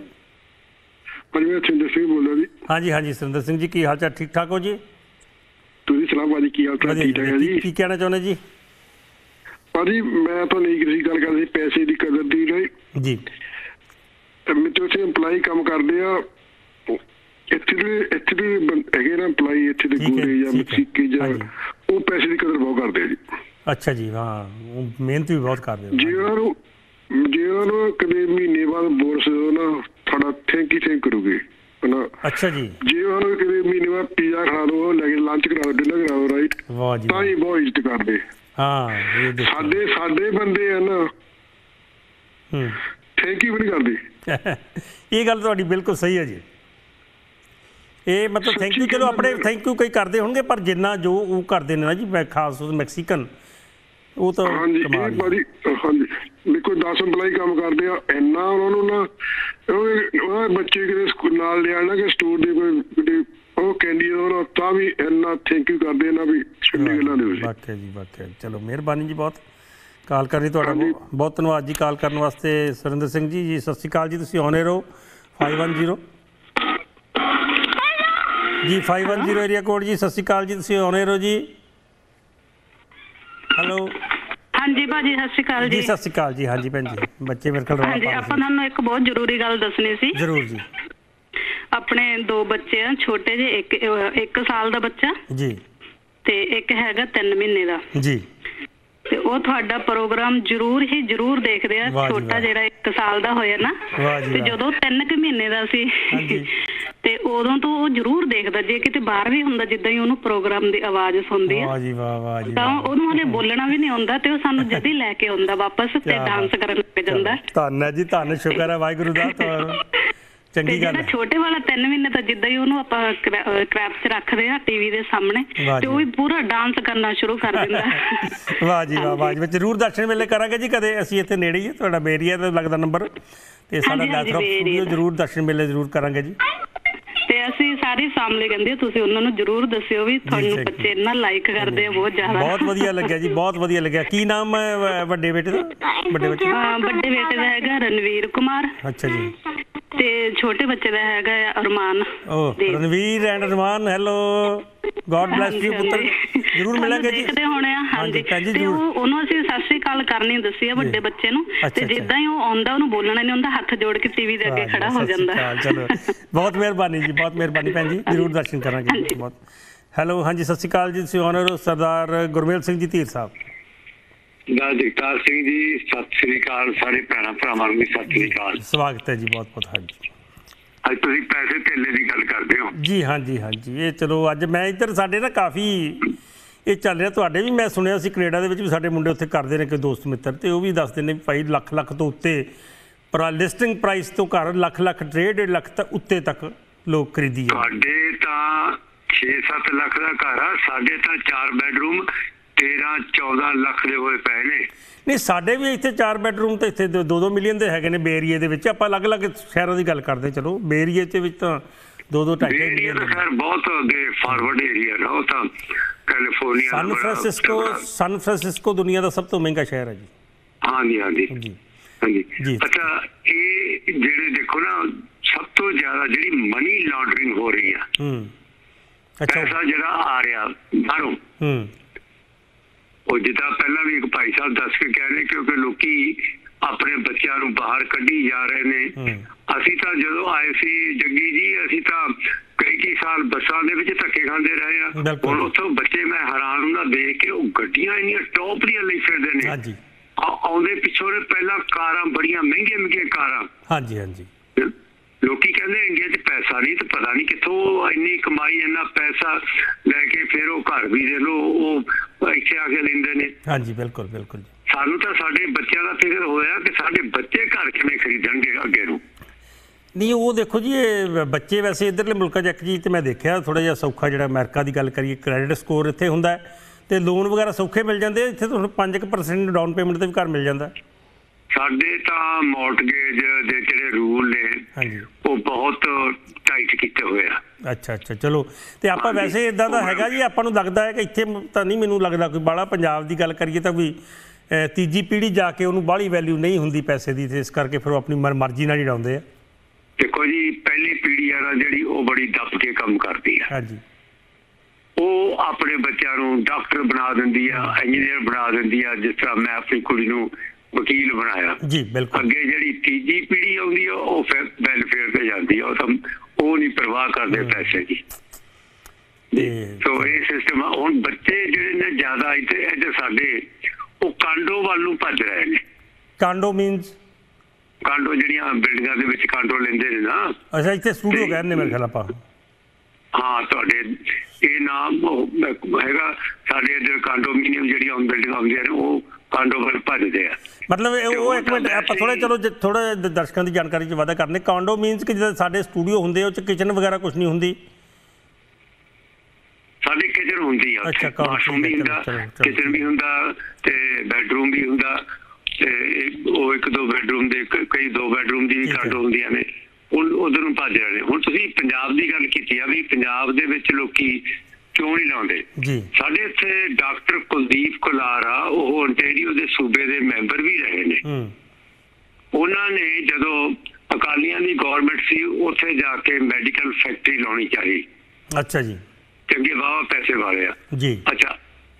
ਤਾਂ ਸੁਖਵੀਰ ਬਾਦਲ ਕਹਿੰਦਾ ਸਾਡਾ ਹਿੱਸਾ। ਹਾਂਜੀ 10% ਹੂੰ। ਉਹ ਕਹਿੰਦਾ ਵੀ ਫੈਕਟਰੀ ਮੈਂ ਲਾਉਣੀ ਆ ਪੈਸਾ ਮੈਂ ਇਨਵੈਸਟ ਕਰਨਾ। ਤੁਹਾਡੇ ਲੋਕਾਂ ਨੂੰ ਮੈਂ ਇੱਥੇ EMPLOYE ਦਵਾਂਗਾ ਬੰਦੇ ਰੱਖੂੰਗਾ ਤੇ ਮੈਨੂੰ ਨਹੀਂ ਸਮਝ ਆਉਂਦੀ ਤੁਸੀਂ ਕਾਹਦਾ ਪੈਸਾ ਮੰਗਦੇ ਹੋ। ਸੁਖਵੀਰ ਬਾਦਲ ਕਹਿੰਦਾ ਫਿਰ ਤੁਹਾਡਾ ਬਿਜ਼ਨਸ ਕਰਨ ਦਾ ਇਰਾਦਾ ਨਹੀਂਗਾ। ਹੂੰ। ਉਹ ਨੇ ਜਾ ਕੇ ਦੇਖੋ ਜੀ ਹੁਣ ਅੰਬਾਲਾ ਕਿੰਨੀ ਕੁ ਦੂਰ ਅੰਬਾਲੇ ਜਾ ਕੇ ਲਾ ਲਈ ਹਰਿਆਣੇ ਚ। ਅੰਬਾਲੇ ਇਧਰੋਂ ਹਿਮਾਚਲ ਬਹੁਤ ਸਹੂਲਤਾਂ ਦਿੰਦਾ ਨਾਲ ਦੀ ਨਾਲ। ਹਾਂਜੀ ਅੰਬਾਲੇ ਜਾ ਕੇ ਲਾ ਲਈ ਫੈਕਟਰੀ ਲਾਈ ਤਾਂ ਉਹਨੇ ਦਵਾਈਆਂ ਬਣਾਉਣ ਦੀ ਫੈਕਟਰੀ ਜ਼ਰੂਰ ਲਾਈ ਪਰ ਜੀ। ਕੇ ਅੰਬਾਲੇ ਲਾ ਲਈ ਜੀ ਪੰਜਾਬ ਦੇ ਹਾਲਾਤ ਇਹ ਨੇ। ਚਲੋ ਮਿਹਰਬਾਨੀ ਤੁਹਾਡੀ ਆਪਣਾ ਤਾਂ- ਸਾਹਿਬ ਜ਼ਰੂਰ। ਤਾਂ ਪੰਜਾਬ ਦੇ ਹਾਲਾਤ ਵਿੱਚ? ਕਰੋਗੇ ਕੀ ਤੁਸੀਂ? ਕਈ ਤਾਂ ਬੰਦੇ ਆਪਣੇ ਸਾਰਾ ਕੁਝ ਲੁੱਟ ਲੁੱਟਪੁੱਟ ਕਰਕੇ ਇਧਰੋਂ ਗਏ ਪੈਸੇ ਲੈ ਕੇ ਉਹ ਵਿਚਾਰੇ ਲੁੱਟ ਲੁਟਾਈ ਕਰਕੇ ਮੁੜ ਕੇ ਫੇਰ ਵਾਪਸ ਲੁਟਾਈ। ਕਰਕੇ ਵਾਪਸ ਆ ਗਏ ਆ। ਪੰਜਾਬ ਦੇ ਵਿੱਚ। ਮੈਂ ਪ੍ਰੋਗਰਾਮ ਕੀਤਾ ਸੀ ਤੁਸੀਂ ਵੀ ਮੇਰੇ ਖਿਆਲ ਉਦੋਂ ਸ਼ਾਮਲ ਹੋਏ ਸੀਗੇ। ਮੈਂ ਪੁੱਛਿਆ ਸੀ ਵੀ ਕੋਈ ਇੱਕ ਬੰਦਾ ਐਸਾ ਦੱਸੋ ਜਿਹਨੇ ਪੰਜਾਬ ਦੇ ਵਿੱਚ ਪੈਸੇ ਲਾਏ ਹੋਣ ਤਾਂ ਉਹਨੂੰ ਰਿਟਰਨ ਆ ਰਹੀ ਹੋਵੇ। ਇੱਕ ਬੰਦੇ ਨੇ ਵੀ ਨਹੀਂ ਕਿਹਾ ਵੀ ਹਾਂਜੀ ਮੈਨੂੰ ਉਤੋਂ ਆ ਰਹੇ ਨੇ 2000 4000 ਰੁਪਇਆ ਨਾ ਉਹ ਤਾਂ ਆਪਣਾ ਸਾਰਾ ਕੁਝ ਲੁਟਾ ਕੇ ਆ ਗਏ ਇੱਥੇ। ਬਿਲਕੁਲ ਬਿਲਕੁਲ ਚਲੋ। ਮਿਹਰਬਾਨੀ ਜੀ ਸਭ ਤੁਹਾਡਾ ਬਹੁਤ. ਧੰਨਵਾਦ ਜੀ। ਨਾਲ ਨਾਲ ਚਲੋ ਕਾਲਾਂ ਅਜੇ ਕਾਫੀ ਨੇ ਜ਼ਰੂਰ ਕੋਸ਼ਿਸ਼ ਕਰਾਂਗੇ ਬ੍ਰੇਕ ਤੋਂ ਬਾਅਦ। ਹੋਰ ਕਾਲਾਂ ਲੈਣ ਦੀ ਬਾਜਵਾ ਸਾਹਿਬ ਦੀ ਵੀ ਆ ਗਈ ਕਾਲ ਸ਼ਿਕਾਗੋ ਤੋਂ ਉਧਰੋਂ। ਤੇ ਜ਼ਰੂਰ ਅਸੀਂ ਕੋਸ਼ਿਸ਼ ਕਰਾਂਗੇ ਬ੍ਰੇਕ ਤੋਂ ਬਾਅਦ ਵੀ ਕਾਲਾਂ ਲੈਣ ਦੀ। ਤੇ ਮੁੱਖ ਦੀ ਗੱਲ ਤਾਂ ਇਹ ਹੈ ਜੀ ਇਸ ਇੱਕ ਘੰਟਾ ਜਿਹੜਾ ਤੁਹਾਡੇ ਨਾਲ ਬਤੀਤ ਕਰਦੇ ਆ ਬੜਾ ਵਧੀਆ ਲੱਗਦਾ ਸਵੇਰ ਦੀ ਵੀ ਸਾਰੀ ਭੱਜ ਦੌੜ ਜਿਹੜੀ ਆ ਉਹ ਵੀ ਥਕਾਨ ਦੂਰ ਹੋ ਜਾਂਦੀ ਜਾ ਕੇ ਵਧੀਆ ਨੀਂਦ ਆਉਂਦੀ ਹੈ। ਬ੍ਰੇਕ ਲੈਣੇ ਬ੍ਰੇਕ ਤੋਂ ਬਾਅਦ ਕੋਸ਼ਿਸ਼ ਕਰਾਂਗੇ ਹੋਰ ਕਾਲਾਂ ਲੈਣ ਦੀ। ਦੇਖਦੇ ਰਹੋ ਜਸ ਪੰਜਾਬੀ।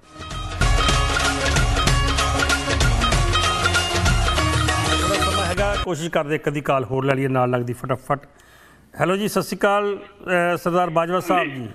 ਹਾਂਜੀ ਹਾਂਜੀ ਸਤਿ ਸ੍ਰੀ ਅਕਾਲ ਜਤਾਰ ਜੀ। ਜੀ ਡਾਕਟਰ ਸਾਹਿਬ ਹਾਂਜੀ ਅੱਜ ਜਿਹੜੀ ਤੁਸੀਂ ਅੱਜ ਗੱਲ ਕਰ ਰਹੇ ਸੀ ਨਾ ਵੀ ਪਹਿਲੀ ਜਨਰੇਸ਼ਨ ਮਿਹਨਤ ਕਰਕੇ ਬਣਾਉਂਦੀ ਹੈ। ਜੀ। ਤੇ ਦੂਜੇ ਫਿਰ ਥੋੜਾ ਹੋਰ ਉਹਦੇ ਚ ਐਡ ਕਰਦੇ ਆ ਔਰ ਤੀਜੇ ਉਡਾ ਦਿੰਦੇ ਆ। ਜੀ। ਆ ਜਿਹੜੇ ਮੇਰੇ ਤੋਂ ਪਹਿਲਾਂ ਕਾਲਰ ਕਹਿ ਰਹੇ ਸੀ ਨਾ ਵੀ ਆ ਜਿਹੜੇ ਅੱਜ ਕੱਲ ਮੁੰਡੇ ਆਉਂਦੇ ਆ ਉੱਥੋਂ ਸਟੂਡੈਂਟ ਪੜ੍ਹਨ। ਹੂੰ। ਇਹ ਫਿਰ ਜਿਹੜੇ ਹੁਣ ਪੈਸੇ ਇਹਨਾਂ ਦੇ ਦਾਦੇ ਪੜਦਾਦੇ ਨੇ ਸ਼ੁਰੂ ਕੀਤੇ ਤੇ ਫਿਰ ਇਹਨਾਂ ਦੇ ਹਾਂਜੀ ਬਿਲਕੁਲ। ਪੇਰੈਂਟਸ ਸੀਗੇ ਉਹਨਾਂ ਨੇ ਹੋਰ ਗਲਤ ਮਲ ਤਰੀਕੇ ਨਾਲ ਵਧਾਏ। ਇਹ ਹੁਣ ਉਹੀ ਜਨਰੇਸ਼ਨ ਹੈ ਜਿਹੜੀ ਉਹਨਾਂ ਪੈਸਿਆਂ ਨੂੰ ਖਤਮ ਕਰੂਗੀ। ਬਿਲਕੁਲ ਜੀ ਬਿਲਕੁਲ। ਜਿਹੜੇ ਪੈਸਾ ਖਰਚ ਕੇ ਵਿੰਗੇ ਟੇੜੇ ਢੰਗ ਨਾਲ ਜਾਂ 30 30 35 35 ਲੱਖ ਤਾਂ ਉਹ ਖਰਚਦੇ ਨੇ।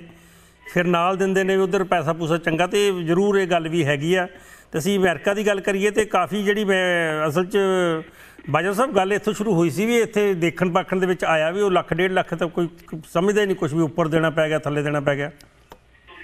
ਉਹ ਫਿਰ ਹੁਣ ਐਵੇਂ ਹੈ ਨਾ ਜੀ ਜਿਹਦੇ ਕੋਲ ਇਹ ਇੱਕ ਵਾਰੀ ਅੱਜ ਤੋਂ 20 25 ਸਾਲ ਪਹਿਲਾਂ ਅੱਛਾ। ਇਹ ਵੈਨਕੂਵਰ ਏਰੀਆ 'ਚ ਹੋਇਆ ਸੀ ਉਦੋਂ ਹਾਂਗਕਾਂਗ ਦਾ ਤੇ ਜਦੋਂ ਕੁਝ ਉਧਰੋਂ ਐਵੇਂ ਲੋਕਾਂ ਨੂੰ ਇੱਧਰ ਉੱਧਰ ਆਉਣਾ ਸੀ ਤਾਂ ਉਹਨਾਂ ਕੋਲ ਬਹੁਤ ਪੈਸੇ ਸੀ ਚੀਨੀਆਂ ਕੋਲ। ਅੱਛਾ ਜੀ।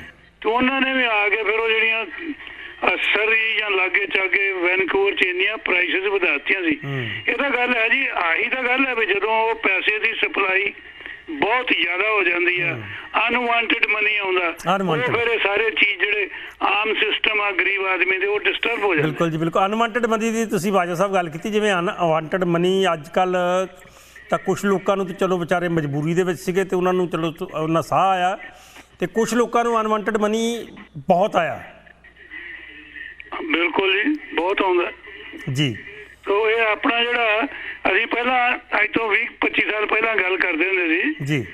ਵੀ ਅਮਰੀਕਾ ਨੇ ਸਿਸਟਮ ਬਹੁਤ ਵਧੀਆ ਬਣਾਇਆ ਵਧੀਆ ਸੜਕਾਂ ਪਾਰਕ ਸਕੂਲ ਯੂਨੀਵਰਸਿਟੀਆਂ। ਇਹਨਾਂ ਨੂੰ ਇਹ ਪਤਾ ਵੀ ਜਿਉਂ-ਜਿਉਂ ਈਸਟਰਨ ਵਰਲਡ 'ਚ ਕਰਪਸ਼ਨ ਤੇ ਲਾਲਸਨੈਸ ਵਧਣੀ ਹੈ। ਉਹਨਾਂ ਲੋਕਾਂ ਨੇ ਉਤੋਂ ਪੈਸੇ ਘਰ ਵੇਚ ਕੇ ਇੱਥੇ ਹੀ ਇੱਥੇ ਆਉਣਾ। ਕੈਨੇਡਾ ਇੱਥੇ ਆਉਣਗੇ ਲਾਉਣੇ ਹਾਂਜੀ। ਹਾਂਜੀ, ਬਿਲਕੁਲ। ਸਹੀ ਬਹੁਤ ਵਧੀਆ ਜੀ, ਅ, ਹਾਂਜੀ। ਮਿਹਰਬਾਨੀ ਜੀ ਉਡੀਕ ਕਰ ਰਹੇ ਤੁਹਾਡੀ ਜੀ। ਮਿਹਰਬਾਨੀ ਹਾਂਜੀ ਆ ਆ ਰਹੇ ਹਾਂ। ਆਜੋ ਜੀ ਮਿਹਰਬਾਨੀ ਬਹੁਤ ਮਿਹਰਬਾਨੀ। ਹਾਂਜੀ। ਤੇ ਨਾਲ ਨਾਲ ਕਾਲਾਂ ਤਾਂ ਹੋਰ ਹੈਗੀਆਂ ਇੱਕ ਦੋ ਪਰ ਹੁਣ ਕਾਲਾਂ ਦਾ ਸਮਾਂ ਨਹੀਂ ਰਿਹਾ। ਕੱਲ ਨੂੰ ਕੋਈ ਨਾ ਕੋਈ ਵਿਸ਼ਾ ਹੋਰ ਲੈ ਕੇ ਜ਼ਰੂਰ ਗੱਲਬਾਤ ਕਰਾਂਗੇ ਤੇ ਇੱਕ ਆਪਾਂ ਤਾਂ ਗੱਲਾਂ ਕਰਨੀਆਂ ਹੁੰਦੀਆਂ ਚਾਹੇ ਅੱਜ ਵਾਲੇ ਵਿਸ਼ੇ ਤੇ ਕਰ ਲਈਏ ਕੱਲ ਵਾਲੇ ਤੇ ਕਰ ਲਈਏ। ਕੱਲ ਨੂੰ ਵੀ ਤੁਸੀਂ ਅੱਜ ਵਾਲੇ ਵਿਸ਼ੇ ਤੇ ਗੱਲ ਕਰਨੀ ਚਾਹੋ ਨਾਲ ਨਾਲ ਕਰ ਸਕਦੇ ਹਨ ਕੋਈ ਐਸੀ ਗੱਲ ਨਹੀਂ ਹੈਗੀ।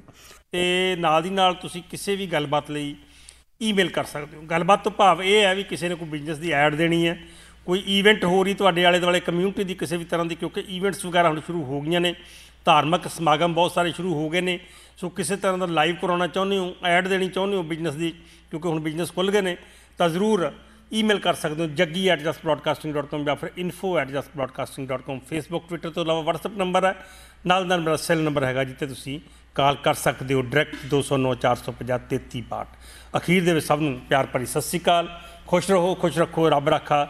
ਜੀਵੇ ਪੰਜਾਬ, ਜੀਵੇ ਪੰਜਾਬੀ। ਨਾਨਕ ਨਾਮ ਚੜ੍ਹਦੀ ਕਲਾ, ਤੇਰੇ ਭਾਣੇ ਸਰਬੱਤ ਦਾ ਭਲਾ।